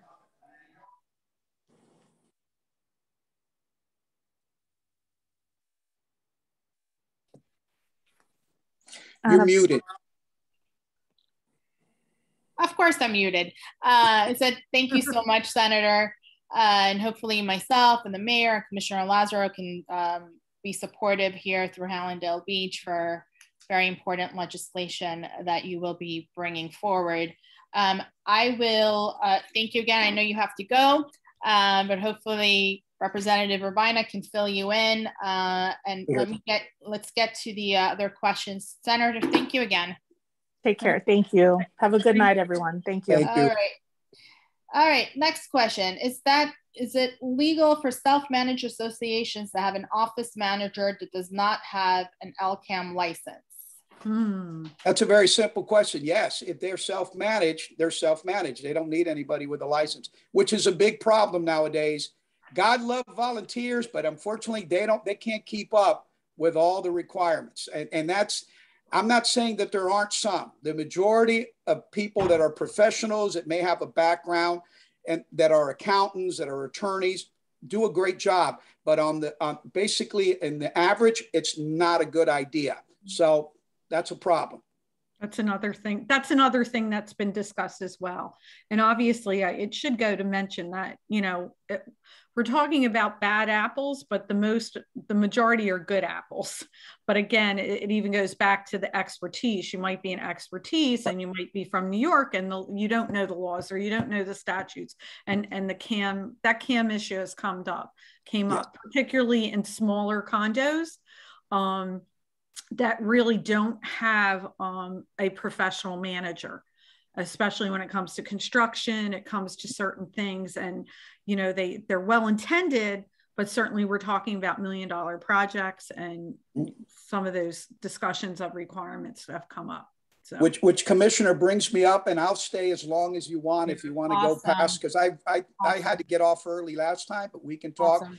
But mm-hmm. i don't want the evening to go by since we have danielle blake here with us and adam mm-hmm. from the other realtors group I want to talk about some other things because the senator spoke about this condo fraud task force bill, but I'm on, on three different committees, including the county that's looking at the 25 year. They're looking at changing 40 years to 25, starting it at 25, having it done by 30. But I also have a list of things that I think realtors are very much involved in. And, and if I may just take two minutes and then we'll revert back to the questions because I don't want the, the people in real estate to drop off. One of the things that's huge, and I'm working this with another representative, is the issue of reserves and reserve studies. Let's talk about this, guys. Mm-hmm. I'm going to keep using the Champlain Towers as an example. If they would have had all the money they needed, if they would have had reserves, if they would have done what they did, which is a mismanagement problem, all kinds of stuff, that would not have happened. That tragedy did not have to happen. Okay. I tell everybody I've been interviewed from every nation nationwide and local, didn't have to happen. So here's one of the things that's coming. Reserve studies, for those that don't know what that is, it's a, a study, we call it a reserve calculation, that is going to, I believe, be made mandatory. Mandatory, no more, ah, well, we'll get to it. Why? Because a building deserves to know where they stand and how much life is left on the roof and on the structure and on the pool and on the elevators. And so that'll help them plan accordingly to what they need. But here's the key one reserves. Almost 90, Danielle, jump in. I'd say over 90% of condos in Florida waive the ability to put in, to have reserves. They're hurting themselves. And you got to understand the human side of it. I understand. I don't want to add another three, four hundred dollars a month to my uh, my maintenance payment per se. However, that's foolish because here's what happens: you may not. What's going to happen is, I believe this year you're going to see a mandate where they're no longer able to waive completely the reserves. What's yet to be seen is how much will be the minimum requirement. Will it be 10%? I've heard as much as 25. This is where I leave it to the lawmakers, the senators, the representatives to battle this out and decide. But they must have reserves. You got to have reserves, especially with the pressure coming from the county here. They're looking at roofs like they never have before. They're looking at every what they call deferred maintenance situation there better be some money in those reserves. And then finally, here's the thing on new buildings, one of the biggest flaws is when a developer de- builds a new building, there he has to leave. This is, I think, is going to be a mandate, a mandatory reserve in that building for at least five years. Mm. Let me let me let me explain to you what we mean by that. That means that if you bought into a brand new building, since we don't know what the developer did and the problems can start showing up within a year, normally within two or three years, they leave a lump sum that is decided by a reserve study on what would it what would it cost if any of the parts in the building were bad. They leave it in a lump sum that he doesn't get it back till after five years, but it's there for the use of who the board if there is a flaw with that building. So they need to, it's got to be a mandatory, you know, on the turnover, mandatory fund left by the developer so that these new buildings don't fall into a situation where, my God, we got to sue the guy, we got to sue the developer. None of that. That's that's key. I wanted to talk about that. And then, of course, real quick, there's going to be some issues on insurance. Get ready. The insurance issue is going to be big. They're starting to already send letters. They want to drop mm-hmm. uh, buildings. They want proof of the certifications. They want additional proof of certifications. They're going to ask for mandatory, what some type of mandatory reserve proof, and finally a calculation. Yeah. And then finally, certification. I love board members. I created the law to make sure that people at least had to take a course so that they knew what they were doing. Of course, the lobbying group stuck in the part where they can sign an affidavit, and that's been the loophole. That's a joke. Yeah. That needs to be removed. That is a joke and it's abuse. I've seen property managers and attorneys prepare an affidavit and tell the board, don't worry about it. Just sign here that you read 718. That's doing a disservice to the building. You know what we're going to see? And this is going to come with this type of opposition. Oh, if you do that, nobody will want to be a volunteer. Well, you know what? I'm tired of hearing that. This is a very serious commitment that you make to be on a board of directors. As you can see, lives are at stake money travels through there, people's investments, and of course, as I said, I'm repeating myself, people's lives. So I think that we're going to try to push to remove it and create some type of all day course where at least you do know something so that the horse is not, you know, a, you don't put the cart before the horse because what's happening in a lot of situations, the property managers and the attorneys are guiding the board members. And I'm going to leave it there because I told you I'd had a couple little things before the realtors got up. Let's answer questions, but I'm giving you a little bit of insight of what's coming down the pipeline. And at the county commission in Miami-Dade County, which I'm on their blue ribbon committee, they're talking about changing the 40 year to 30, but you got to start it at the 25th year because it takes four or five years before they get the funding and get it done. That's it. I'm done. Take questions. All right, let's go. Thank you. Let's let me scroll up so I can be fair to everyone. Give me one moment. We also have questions regarding um, receivership, so we'll get to that in a little bit. Might have to connect you with some uh, residents um, at the end of this, but let me scroll up so that I'm fair. Um, DBPR has been powerless for the last 10 years. That's what, true. What about reserves to be mandatory starting next year? I think there you go. Yeah, you touched on that. Exactly. DBPR useless and ombudsman could not help at all. He's tied. Uh, His hands are tied. That's correct. Mm-hmm. Moving right along. Is it legal for, okay, sorry, I already covered that. Um, please comment, address on the Channel 10 report regarding the hemispheres. Bonnie, we will at the end. We, we covered it last week. We covered it at the commission meeting and we will certainly cover it at the end of the meeting. Um, I don't quite understand what, oh, I'm sorry, that's there. What resources are available for small condo buildings to find management that is competent and cost effective? So many we have interviewed are outrageously priced and we find it difficult to find reliable information regarding them. I asked the same question regarding inspection companies for 40 year inspection, etc. If any of you have questions, please type them. Um, mm -hmm.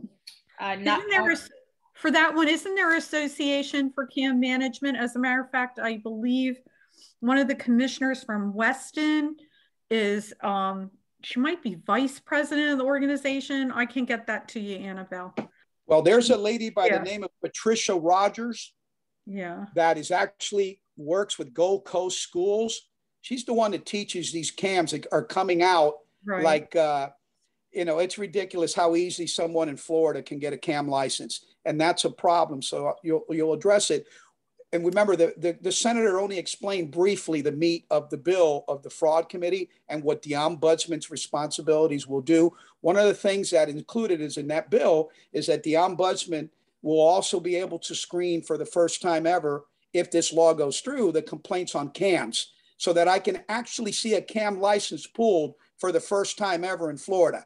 You, if you want to check how many times DBPR has pulled a cam license, you'll be surprised. These people, unfortunately, they are excellent cams, and I'm not saying because you're new, you don't know what you're doing, but you should see the stuff that goes on with some of these cams, and it's almost impossible to remove a license of a bad cam. This will be addressed. So, going to her question, finding a good company, you know, unfortunately, that takes a lot of what you call calls and asking people for references. And I also mm-hmm. like to say that it's good to have a cam, not only with just a, a state license, but you know, cams, some of them have what they call a national license. They have a CAM where they can practice community association management in the United States. That's a whole nother level of education and stuff that is required. That is how I think that you go about it. But unfortunately, it's a it's basically the, the luck of the draw if you don't check for references on how they've been with other communities. That's the best advice I can give. Mm-hmm.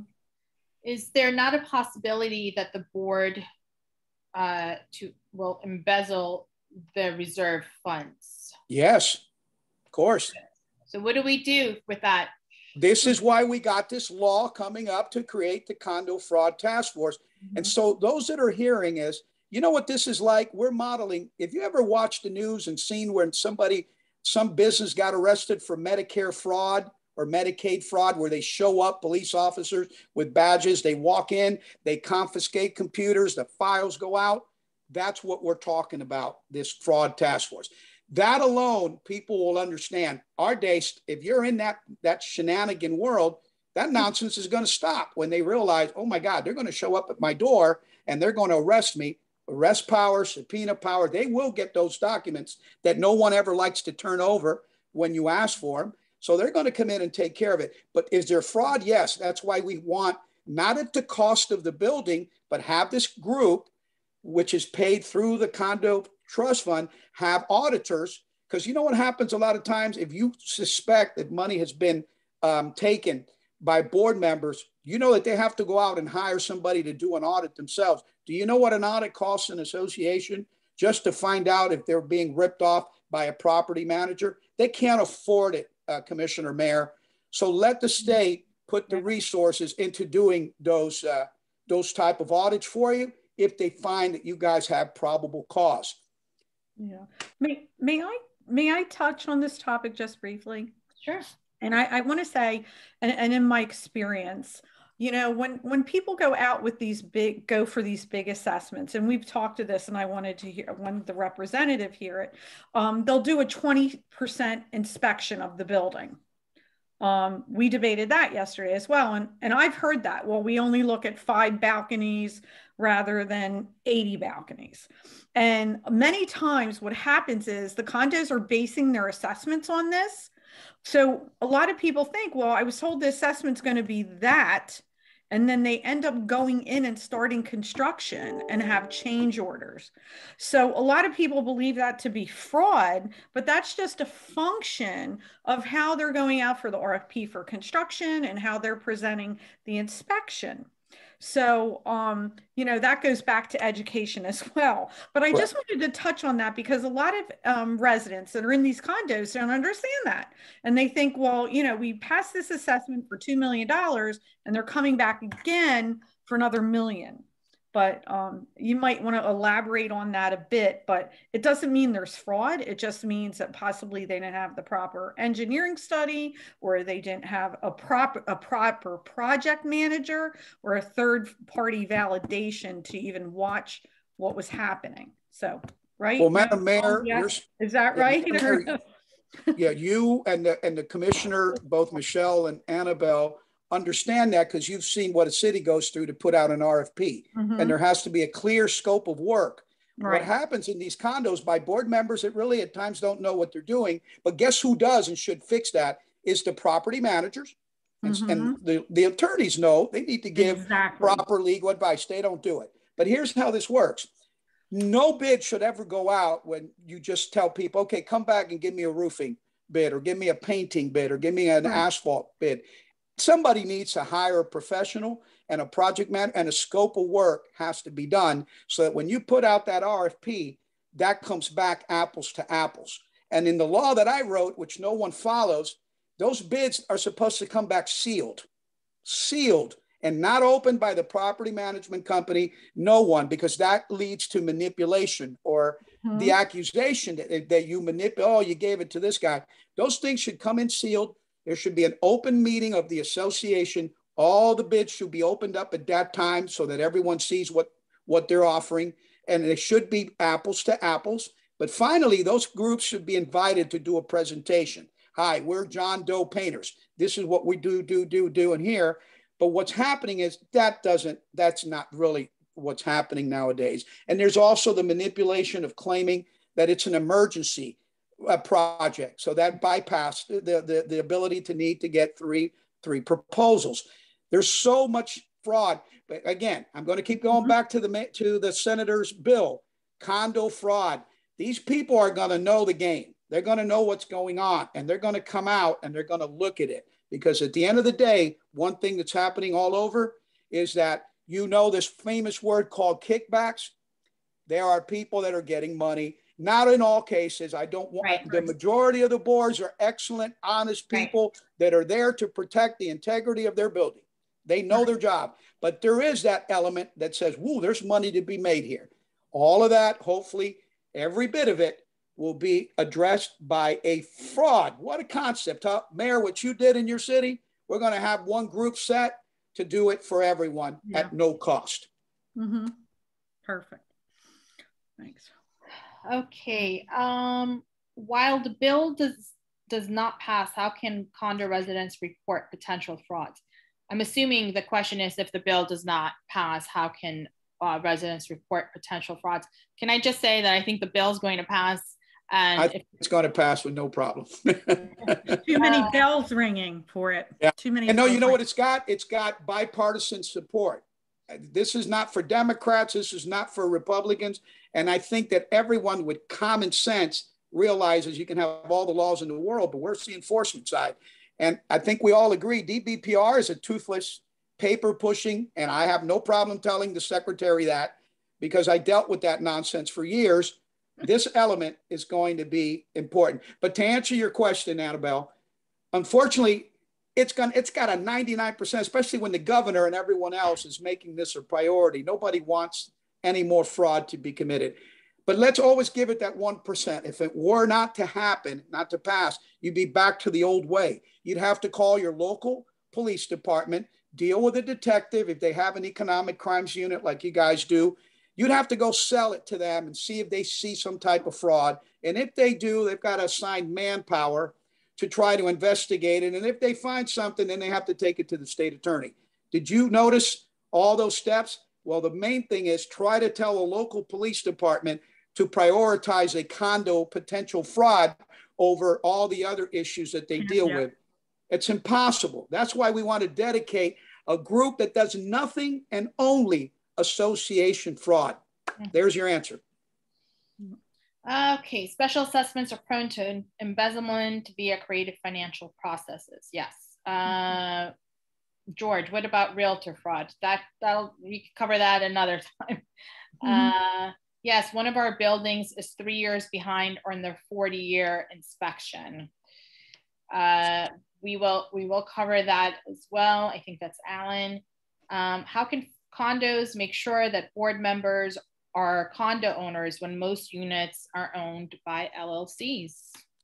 Hmm. I, I didn't understand that question. What was that again? How can condos uh, make make sure that board members are condo owners when most of the units are owned by LLCs? Well, time out. Remember, you got to read the documents because there Yeah. are some condos where you don't have to be an owner. You can be a renter. You there's it's strange. You got to read those doc that doc those documents that you got Mhm. when you close are the Bible. Read them.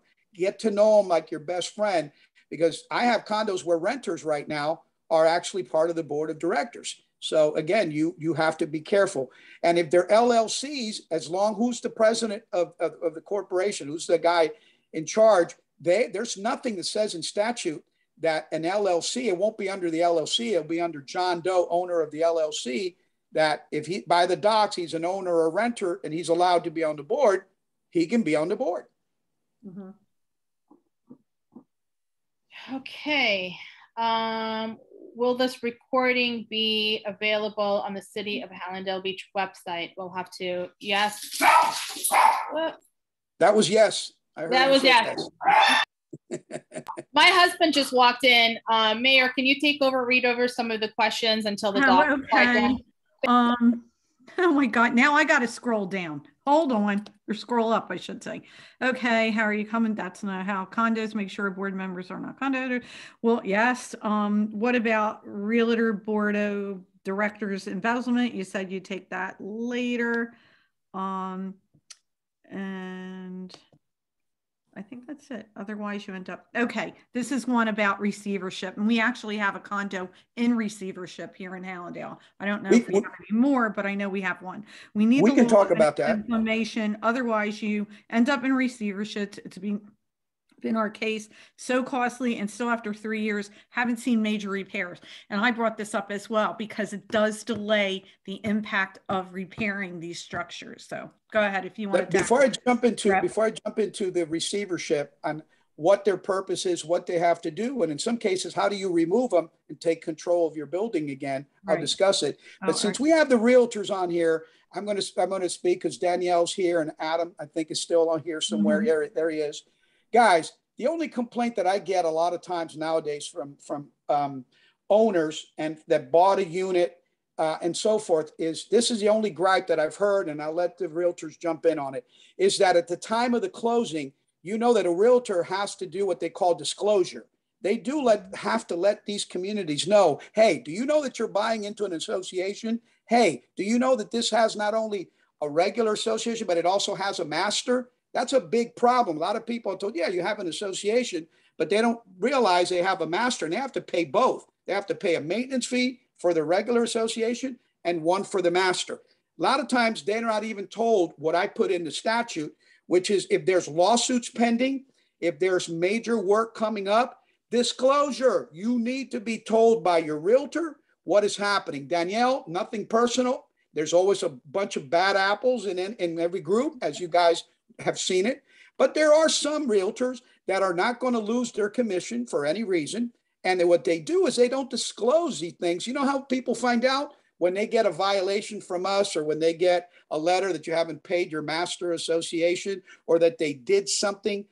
Where is the disclosure? I think that's always going to be a priority for the Realtors Association to make sure that all licensed realtors in Florida are doing disclosure because when you don't do disclosure, you basically are doing a disservice. And, and I've been told you can actually sue and uh, uh, you can file a lawsuit against a realtor if they don't disclose what you just got yourself into.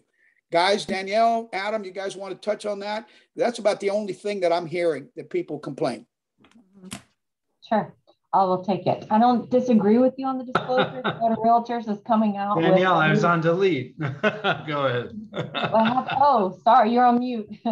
no, go ahead. But it's a tough issue, and that's why I'll let you leave with it. but okay. it has been a tough issue Adam? for the realtors. So.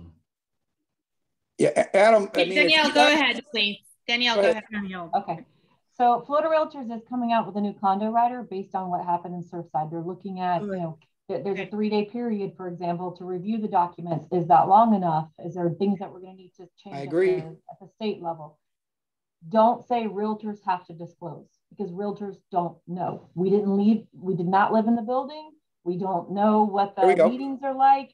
It is the seller that has to disclose. And so we ask those questions of the seller. The seller has to provide us that information. That's why we're so excited with the Hallandale Beach model because getting access, like you just said, read the documents, make it your Bible, have them memorized. If you don't have access to those documents, you're not going to be able to know those things.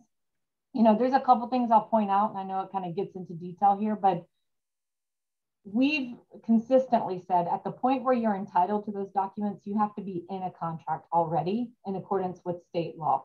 For us, right. that's too late you really should have access at, the beginning of this because you know what if i have a 70 pound dog and i want to move into the the unit and it's prohibited i don't want to be in a contract with a, a seller to find out that i can't move in with my dog i Good should point. know that ahead of time that's exactly what your ordinance does in the city mm-hmm. is to say these are the rules and regs these are the condo docs these are declarations then i can read through it before i make that offer that's what's key in this I can read it before I make that offer and know if that's the right place for me to reside.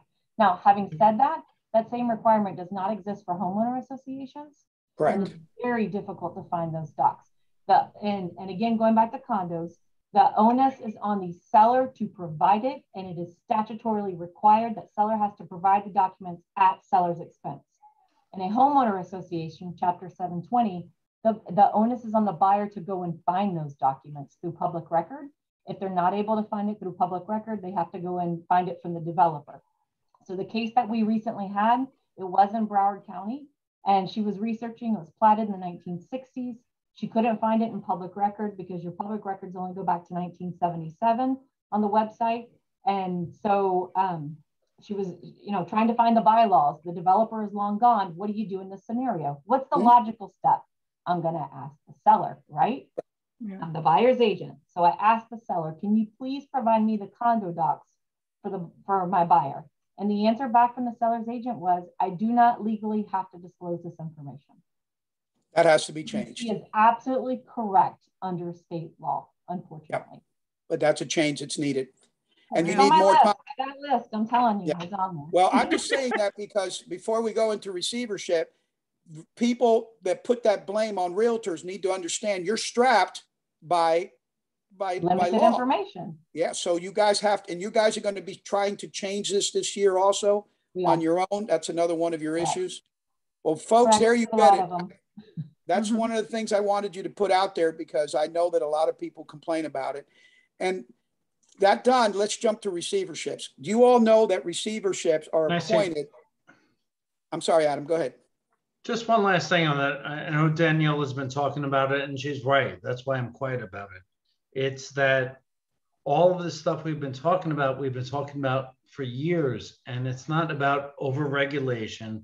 It's not about the finances. It's really about, I mean, I hate to say it, but say it. we were on a private conversation with Marty Kiar. He's not going to like if I say this, but so I'll modify it. When buildings fall, I mean, we're here. And it's not just the, the safety of it, it's the, the regulation of it. It's everything you guys have been discussing. Mm-hmm. And you guys were ahead of the game. Adam, you're being too nice with your words. Well, really, we need to be sometimes. you know why? Because you know what happens here, and I'm going to use the words since I am no longer. Finish, sir. Oh, go ahead, because I'm going to tell you what I say. Go ahead. Well, that's all I had to. But go ahead, sir. Here's the thing.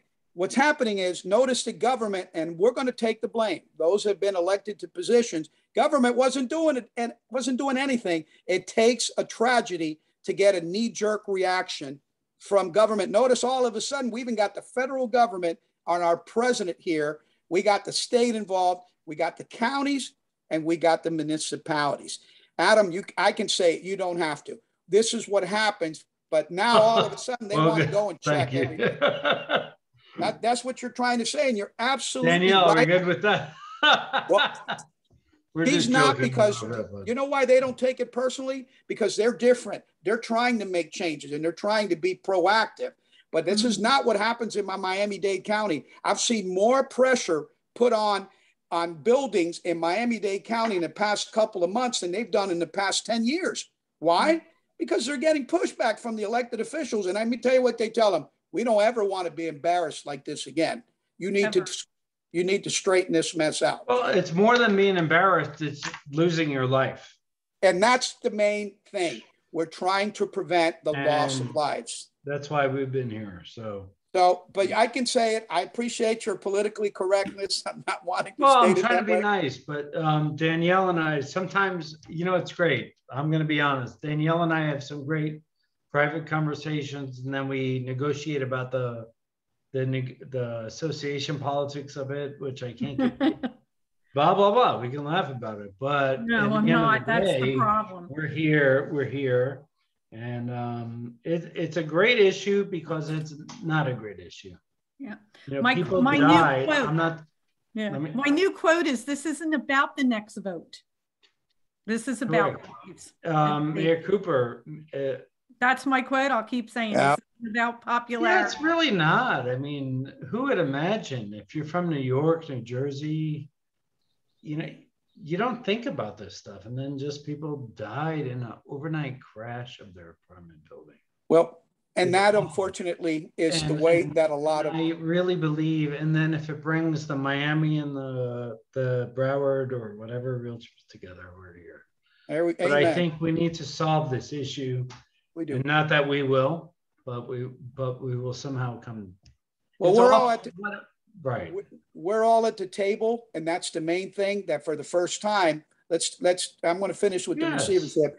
But being on a positive note, I, I'm loving that for the first time, I got city with things like what you guys are doing in Hallandale Beach, thinking outside the box. You got county, you got state, and guess what? Even the feds have stepped up because remember, folks, yes. there's one thing we haven't spoken about which is where is this money going to come from if they start forcing all the deferred maintenance on all the buildings? You know how many buildings need millions of dollars and banks are not willing to loan them money at this time to deal with deferred maintenance?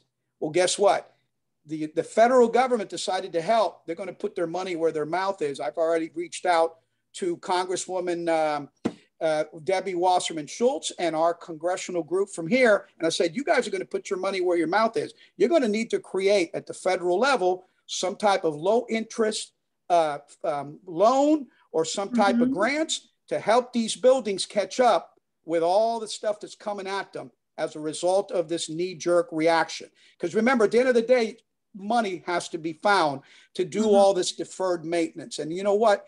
There isn't a citizen here. I don't care what how much retirement they get or Social Security. They're not going to be able to, to pay what's coming at them. That said, let me finish the last thing. The receivers. Uh, Anabelle, you had a comment? Yeah, so I, I, I really want to get to some of these questions that have to do with receivership because they waited okay. patiently last week. So may I, may I read these questions to you?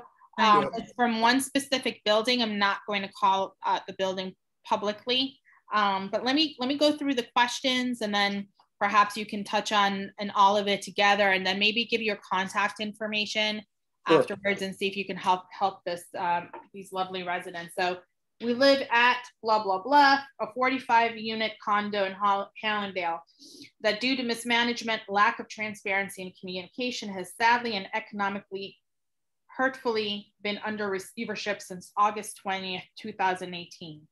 As of August 2020, after two years of receivership, more than $418,625 had been paid in assessment without seeing much needed and significant repairs, pipes, water towers, external wall cracks, etc. It seems that most of the money has gone to pay for receivership fees and lawyer fees associated Correct. to receivership. We have not received any financial information. I've requested in many occasions for a detailed report, nothing received as of today. Hang on one more, one more minute, uh, mm-hmm. Representative. We are not a wealthy community. Pandemic has hit us hard as to most world citizens. Despite this, last year, 2020, an additional $20,000 special assessment was requested by the receiver in order to get a $1,700 loan.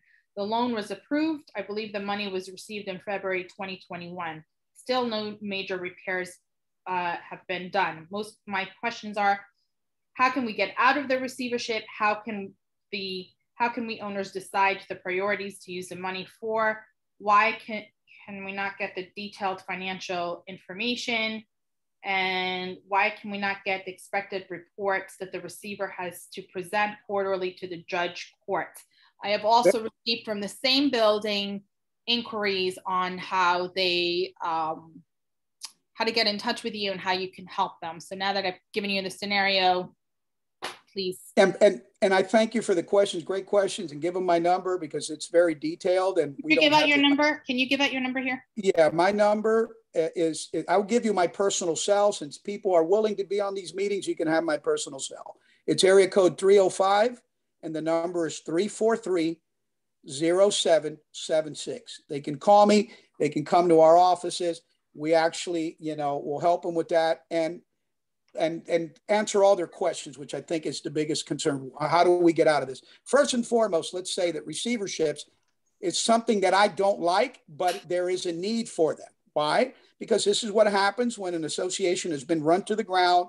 They don't. Need some associations can't even get people to want to be board members. So somebody petitions the court. All it takes is one owner. Boom! A judge assigns a receiver. You're off and running. This individual, you said it right. The majority of the money is being spent on his fees and on attorney's fees.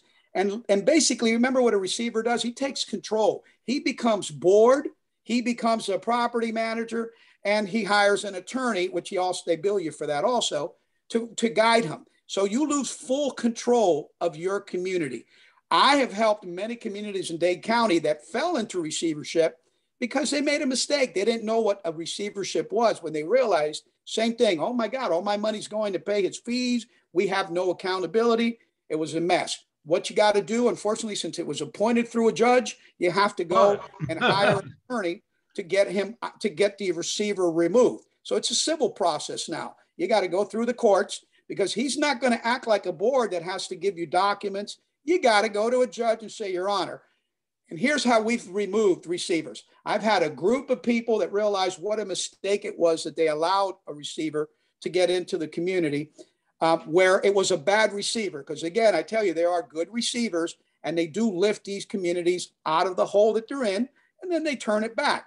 But in this case, a whole group gets together, they hire an attorney, they petition the judge and say, Your Honor, we want it. We're, we got people that are ready to be on this board. We've got a, a, a, property manager ready to go. We've got an attorney. We're asking you to remove the receiver. And most of the time, most of the time, the judge will side with the owners and go ahead and tell the receiver, okay, you've got 30 days to bring it to close or start shutting it down. I am going to return the community back to the um, to the association, meaning the owners. That's where it needs to be, folks. It needs to be back in your hands. I think you know why. The cost that they're paying this guy or woman or whoever it may be, whoever the, the receiver is. And what, what, what I hate about it is the lack of accountability. That's what bothers me the most. They don't tell you what they're spending money on. However, you do know that it's going mostly to pay for his salary. And here's the other thing you know, he can hire whoever he wants and assess you whatever he wants in the name of trying to bring back what they call compliance to the building, to settle code violations with the city, to settle lawsuits.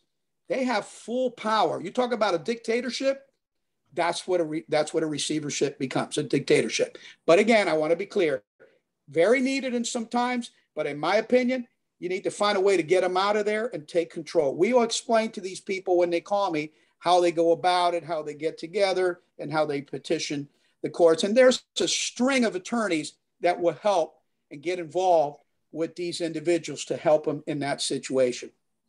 Questions? Any other questions you got on that? Yeah, so I so I, I think with this specific building, um, is it possible that the receiver had um, a past criminal history that the courts would appoint someone with a past criminal history? Is that possible? Very, that's anything in South Florida is possible.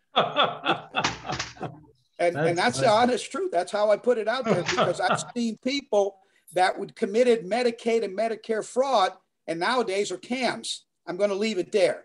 But in normal, it should not be because these people are screened. It's normally, it was not normal, it is a judge who will appoint them. So the chances of that are very slim. But again, there is always a possibility, Anabelle. I can't tell you what the background is. There's people that have been expunged they may have gotten a CAM license. They may have a relationship with a judge, and the judge appointed them to be a receiver. There's an answer to your question.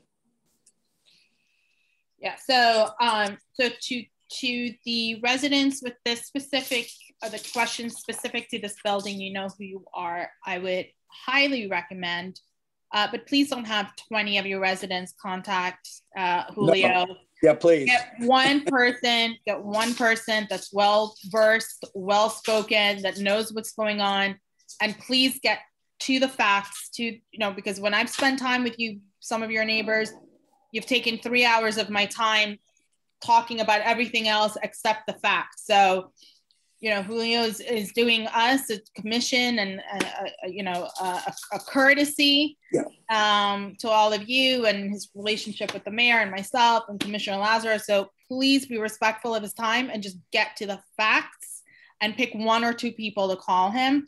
Um, if you need, um, Claudia is asking, how can we contact lawyers to remove receiver? I think that you really need to have someone um, speak with Mr. Um, with Julio. We'll guide him we yeah. will guide them. Yeah, Claudia, you can just get in touch with me and I'll put you Commissioner, in. Commissioner, yes. Madam Chair. Mm-hmm. I'm sorry, but you're right. We have members that they'll they'll text forever, and then I know I'm over texting sometimes, but it, it's because you have hundred people texting. So if we can condense it, because and, and, by the way, I you're the one that got elected to do this. Mm-hmm. And, and, we did, but our time, remember, our time is very limited because our. No, number, that's what I'm saying. Yeah. It's, it's no, just, so if they're texting us and then you cipher through it, but you guys are doing a great job. I well, probably not am communicating that properly, but Danielle, save me on this. But no, that said, she, I'm sure she gets 100 texts a day from condo people, blah, blah, blah. But hey, Julio, I had a question for you. Sure. Uh, one of the recommendations was to keep the reserve funds in an escrow account instead mm-hmm. of in the bank that's accessible by board members or by CAMs. What are your thoughts on that? I, I agree because unfortunately, I don't know if you know by law, certain accounts are can't cannot be interest bearing. So that said, yes, I'm I'm I'm I'm totally in favor of something like that.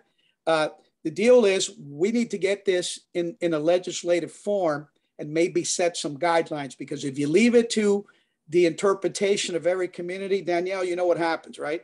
It, it's it, everybody's all over the place. This is why we need to be specific in legislation how that's done. But yes, I have. I think that's a that's a great idea. And by the way, again, I want to thank the realtors and because you guys are advocating. At the end of the day, you know, everyone on this site that's been speaking has a, a, a, purpose to try to help the community.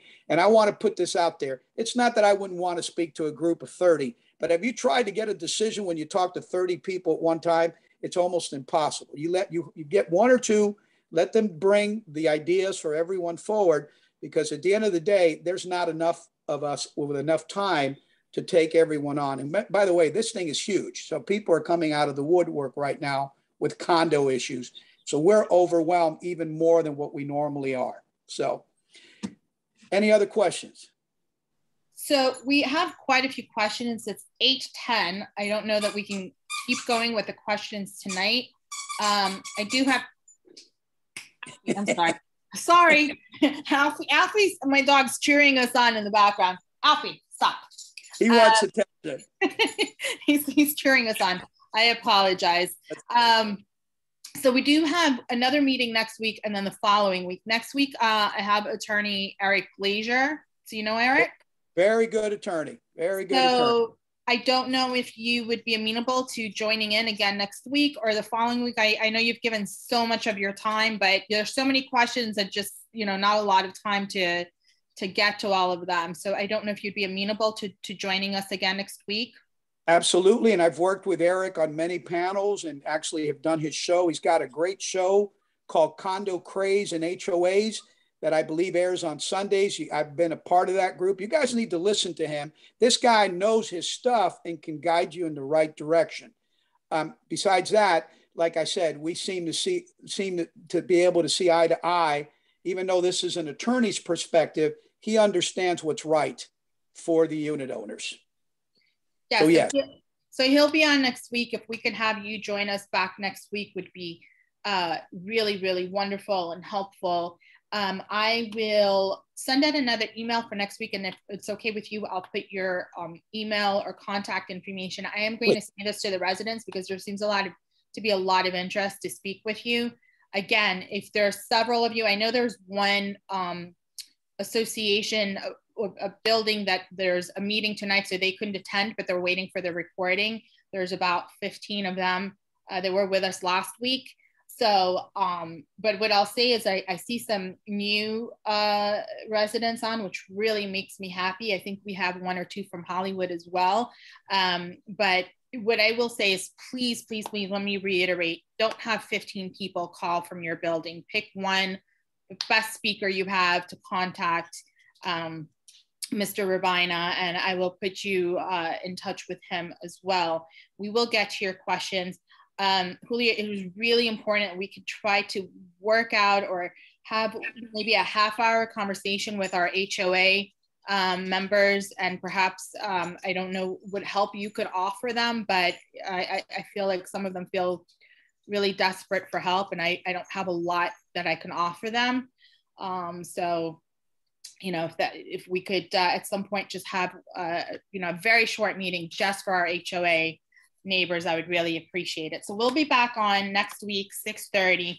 Mayor, Commissioner, don't go anywhere yet, please, because I want to address some of the questions and inquiries regarding hemispheres. I don't want anyone to think that we uh, we don't want to address that, but I really, really want to thank Danielle Blake and, um, and Adam from the Broward Realtor Association Senator is not here with us and Marty Kiar. Um, and I, and I just want to address my, you know, residents and, and Mayor Cooper and, and Commissioner Lazarow. The ordinance in Bay Harbor Islands did not get a second. Oh. Wow. I, look, they, they don't understand. I, I want to. I won't elaborate. I, I I'm not surprised. I won't elaborate too much, but um, did not get a second. So I just want to say I'm really proud of our city uh, that we did this before the tragedy, and we did this last year. And the first, the first um, uh, portion of it was uh, adopted last year on June of 2020. We've had a couple of amendments this year, but really we should be very, very proud of our city and very proud of us as a commission that we came together and we got this ordinance passed. Again, you know, there were a lot of residents that were part of this and Julio, this ordinance, the language for it, I would have never had the support were it, were it not for for your time that that you spent and the language you know that you offered our city attorney so you know kudos to us as a commission in Hallandale Beach we are the first in the state I don't want to mm-hmm. exaggerate and say in the country because I'm not sure. I'm still doing research, but I'll take the first in the state. I was hoping Bay Harbor would be the second, um, but that's okay. I know Dade County, Dade County. Miami-Dade County has uh, gotten the first draft back from the attorney's office, and we made some changes to it, and it should be released that's in the great. next week or so. So we'll have first reading. They don't meet in August, so the first opportunity we have will be in September. But we're pushing for that, and it would cover Bay Harbor because it's going to be unincorporated and incorporated, go. and it's going to be the master repository for all the information Beautiful. instead of having it spread out in different municipalities. So thank you for starting this because you know it, it's catching on definitely and going to other places. So kudos to you guys again. Thank Commissioner, you. if I may, thank you guys for being the ones who took the first step. You got to remember, you want to be a leader, you don't want to follow. And unfortunately, these cities are not being proactive. I thank the county. The county's going to put them under their spot. But before I hang up, I want to continue to tell you do more because these are, especially in your community, how many people live in these condominiums? Over 200 it, unit condominiums. They, and that's why it's it's it impacts your everyday reason of existence as elected elected body to, to, to protect these people. And then finally, I'd like to say that we need to get behind the realtors legislation. You heard some of the things they're doing, but more importantly, I'll leave with this. Please get behind Senator Ana Maria's bill, this fraud. Ladies and gentlemen that are on this meeting, if you didn't, we, we talked about a lot of things. I hope you remember one thing, at least when we hang up tonight, get behind this bill. It's not a bill number yet. It's still in bill drafting, but start talking it up to people that there is uh, uh, a, a condominium fraud task force coming, and this will be a savior to everyone. So I hope that everyone will start talking about that. On that note, I'll let you guys. Leo, hold on, hold on one second. I, I see the Commissioner Lazarow muted herself. I was not sure if she wanted to say Commissioner, did you want to say oh. something? I'm or? sorry if I missed anything because I had to take a call. So I don't know if I missed anything. If you had called on me and I you thought maybe I wasn't listening. Hmm. No, I just I, I was giving kudos to the commission for okay. you were in yeah. Sure. but don't go anywhere because um, hopefully uh, we can talk about hemispheres and I know some people ask questions. I don't want any. I do have to make one fast call, but I am coming back. Okay. Okay. All right. Thanks. All right. Julio, thank you very, very, very, very much. So uh, nice to see everybody. Mayor, pleasure. I'll be Anabelle, calling you. Always. I, am going to be calling you to Please. cross lines with uh, the county task force and see what direction you're going in, if you don't mind. Okay. We'll keep you, we'll keep Thank you in the loop. Thank you. Thank you. You guys have a good night, everybody. Thanks, okay, Julio. See you, Danielle. Bye, guys. Bye, bye. Thank you. Thank you. All right. So, Mir, um, I'm here. uh, Danielle, you're a rock star. Thank you so, so, so, so, so much. I really appreciate it. I don't know if Adam's still on, but um, I look forward to continuing to work with Adam um, with the Broward and Palm Beach, Port St. Lucie. It's a mouthful, Realtor Association. Um, but um, we'll we'll talk some more. Unfortunately, it didn't pass in Bay Harbor, but that's okay. The county will pass it, and it's all you know. A lot of it is your your work and uh, you know I really really appreciate it so we're going to go right into a discussion about the hemispheres because i think there are some residents from the hemispheres on here and i don't want anyone to think that we are uh, shying away or or not being transparent so i've i've gotten a lot of time to speak today i'm happy to speak on it but you know, Mayor, if we can give Commissioner Lazarow a few minutes to speak and then, um, you know, you can take it away. Commissioner, do you want to go first? Do you want the mayor to go first? I don't, it doesn't matter to me. No, I don't have any is issue in going first, but thank you. I'm happy to listen. Oh, you if have anybody has if anybody has a question for me directly, I'm happy to answer. But at this moment, I have nothing. Oh, okay. Well, it's not directly at you. It's it's to us as a commission regarding oh, okay. regarding the regarding the hemispheres. And mm-hmm. I thought, you know, I saw that there was another report that came out on WLRN. Um, so following the commission meeting we had last week, and then the meeting that you attended last week um, you know, that we had last Mm-hmm. Tuesday, apparently a report had come out on, on WLRN, and we have residents here that are asking for uh, comments about the hemispheres. And it's not a topic I will shy away from, um, but I certainly have had more time than both of you. So I can go first, Mayor can go first, Commissioner, it's up to you. I want you to know the floor is open to you. The floor, I mean, the, Well, thank you. I do think um, you probably have more, and I know the mayor's all geared up to talk about the hemispheres. She's been waiting for that. So I'm a, I'm gonna let you guys lead this because I know the mayor's been itching at the bit. No, no. Thank chime you. in anytime, I know you've been, okay? you've been working on one condo and I guess this fell. That's all right. All right, I'll take mine. You take that one. I know exactly. Um, well, first of all, and and thank you again, Anabelle, for all your hard work and everyone's um, hard work is, and it's only just begun. And I'm sorry to hear about Bay Harbor, and maybe you know, even if one evening we go down or something to their next meeting and just speak about it, it would be worthwhile. With that said, uh, hemispheres.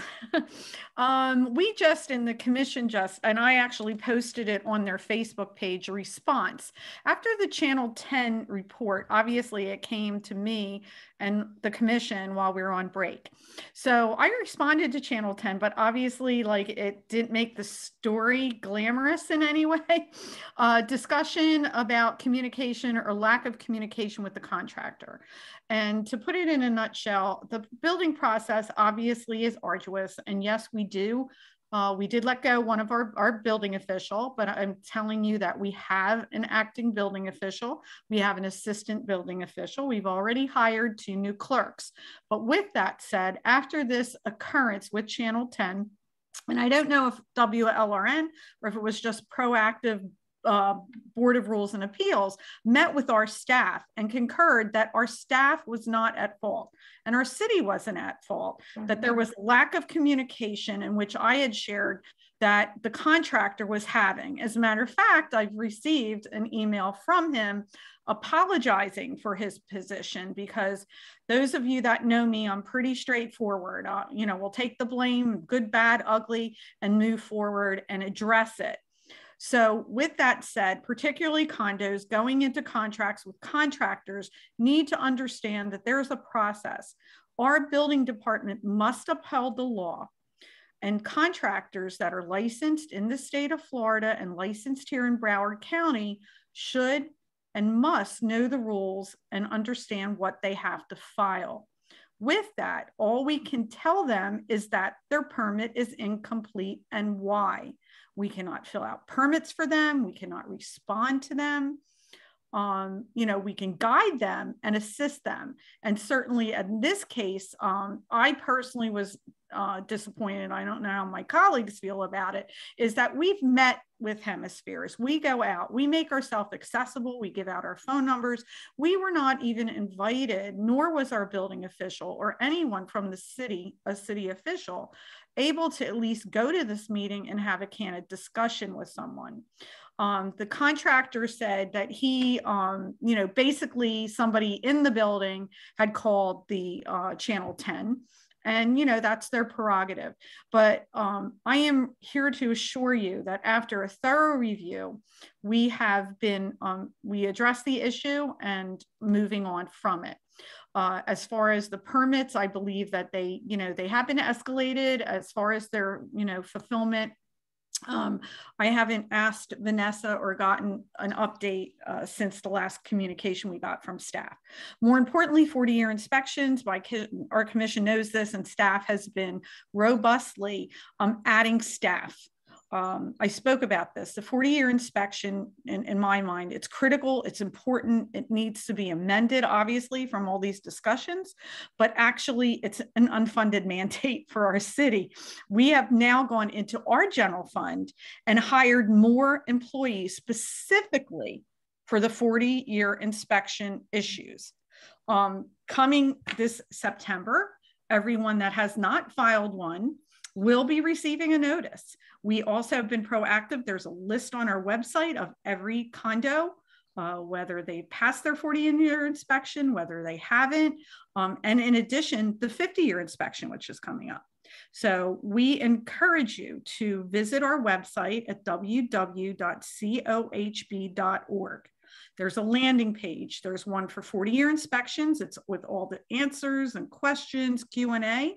I also encourage every person to go on our permit portal and actually go in. If you have a permit number, you can actually see what the comments are and where those permits are in a process. Certainly, you can call any one of us um, and we'll help you through that process. But, you know, we're here to help and, and not everybody, you know, nothing's perfect and there is uh, human error possible, but uh, again, we had the board of rules and appeal looked at our process and they said no this was this was the fault of miscommunication from the contractor not our staff. Thank you. I think i did it. Anybody else? Commissioner Taub or commissioner lazarow anything to to add? Uh, no not for commissioner lazarow i think i think you covered it well. I mean i think i think those that know me know that you know if i if i think that the city was in error um, i always hold the city accountable and i speak mm-hmm. about i speak about it publicly and i've pointed out past mistakes um, and acts that i really did not agree with um, i'm not talking about the commission i'm talking about city manager's office or policies um, not an attack on any on any commissioner um, so in this instance, I feel really honestly used and I don't appreciate it. And I'll tell you why. Because Wednesday, which was before the about five days before the report on Channel 10 came out, the Hemispheres manage, uh, manager contacted me. She called me, complained. It seemed very, I was, oh my, oh my goodness, this is really, you know, worrisome. I said, please send it to me in an email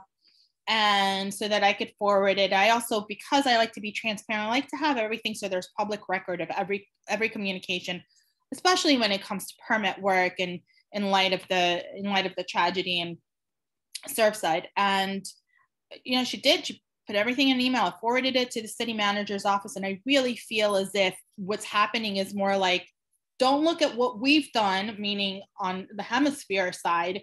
Don't look at what we've done. Let's take the attention away from us and it's the city's fault it's not our fault. And i think that's what's happening here and i really don't appreciate being used in that way because it seemed like the conversation was we need your assistance.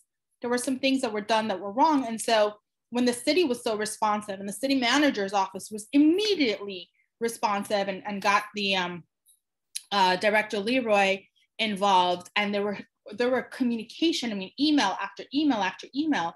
And so on Monday morning, to have channel 10 and I and I'm all for the media coming and asking questions and holding us accountable. I'm all for it. Uh, and and you know if we've done something and I there's an email uh, sorry a text message that I sent our assistant city manager at the time and I said if we've done anything wrong we need to own up to it um, and and of course she replied in kind and said absolutely.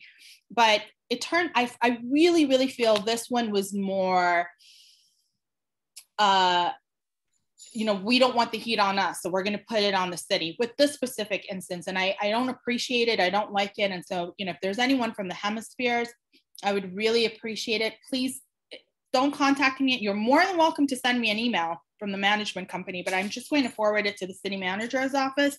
I think this, in this particular instance, it was disingenuous. And the ones that really um, suffer from all of this are the residents and the condo owners because they already have a high level of stress. And so this adds more stress to them.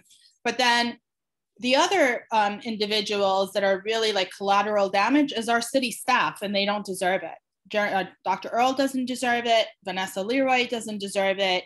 Um, you know, they're they're they're bearing the brunt of a lot of abuse in the last month and a half in general because people are just it's just one tragedy after the other. We had COVID and the hardships with that, and then Champlain Towers and living in condos and the high assessments. Everybody is just really uh, on edge. Uh, but that doesn't justify a lot of the language and a lot of the abuse that our staff has to bear. So, um, so in this instance, I, I, I take the city side, and especially having communication that um, the Board of uh, Regulation and Appeals came to the city immediately after they saw the report on Channel 10. And there's communication about them saying that the, the, the city in this instance is not at fault. And so if you are being told that the city is at fault and you want any of the communication of the emails, just email me if you're living the hemispheres. I'll be more than happy to forward you the emails that I have. Um, but that's just my that's just my uh, my take on it. I'm you know I'm really um, I'm really discouraged that that that was going on and and so many people don't deserve that condo owners and definitely this the city staff does not deserve that. So that's that's my take on the on the hemispheres. Um, mm-hmm. We'll be back next week. I see Commissioner Lazarow, you unmuted yourself. I'm not. I'll make yeah. sure to give everyone a turn. Um, we'll be back next week. Same time, 6.30. We'll have Eric Glazer, an attorney on. We'll have um, Julio Robaina on again. Then we'll have a follow-up meeting the, the week after that. Um, you know, I really uh, want to thank, you know, the, the ordinance uh, that I sponsored. It took years to put together. Um, I really want to thank you, uh, Mayor Cooper, and you know it means the world now that you um, have joined Commissioner Lazarow. It makes it a lot easier now to know that I can go in and at least have both of you supporting it. So, um, you know, thank, thank, thank you both. Mm-hmm. I really, really appreciate it. Commissioner Lazarow, please. Mm-hmm. Yeah, I also wanted to say that, you know, I understand the city's frustration, but, uh, or the residents, and I understand the fear. But the other thing mm-hmm. that I think people do not realize is this is not really in our purview. I mean, when we were elected, this is not, um, you know, what we were elected to do. And when we do extend our help or offer to help, it's really because we're trying to be good elected officials. And I feel like when they don't get what they want, when people don't get the response or get the time, that we also carry some of that brunt, which I'm willing to take. Mm-hmm. But like you said, I'm not willing to take it for the staff. You know, they, they can't speak back. We can. Mm-hmm. Um, and actually, you know, I even said to the city manager, unfortunately, you know, you kind of like you work for us and we work for them you know, and that and that's how that works. That them being the residents. We're, mm-hmm. Yeah, we're, we're at the bottom. They're at the top but and i get that but by the same token you know i don't think people understand what our actual role is and you know when people are upset about the permits i always say well be glad that you know me or you know commissioner taub that we can actually there's people out there walking around that have no idea what to do and they are freaking out and i get it but those people that know how to reach out to us especially the ones that know they can call me and they're like, I don't want to bother you. I didn't want to ask. You know, I'm happy to help people, but I also want to be respected for, you know, and I think Mayor Cooper went through this a little bit with the avant garde and the walkway. You know, we're not in control of construction and we have nothing to do with whether or not a walkway gets open. And if there's a health and safety matter, mm-hmm. just because commissioners, we can't just say, well, we don't care. We, we want you to open the walkway. And I think you know, there's a frustration that, you know, kind of gets handed over to us that I just think people need to kind of understand what our role is in the city and what our role is not. So, um, you know, and I appreciate everyone, you know, really are very considerate about that. But I think that's important to recognize. And I listen when people call me just real quickly and say the building department's a mess, it's horrible. I go, you're right. I mean, I'm not, you know, at this time, we, there's no, there's no defending it. It's indefensible. Okay, so we're trying to fix it, and that's the best that we can do. Because telling us repeatedly how bad it is is not going to fix it any faster. So we hear mm. you, we understand, but if anybody, and I offered this last week and I did send it to somebody, I forget who was on last week that asked for it. I have the timeline of all of the hemispheres. We all have it. Yep. All four buildings, what they asked for, when we responded.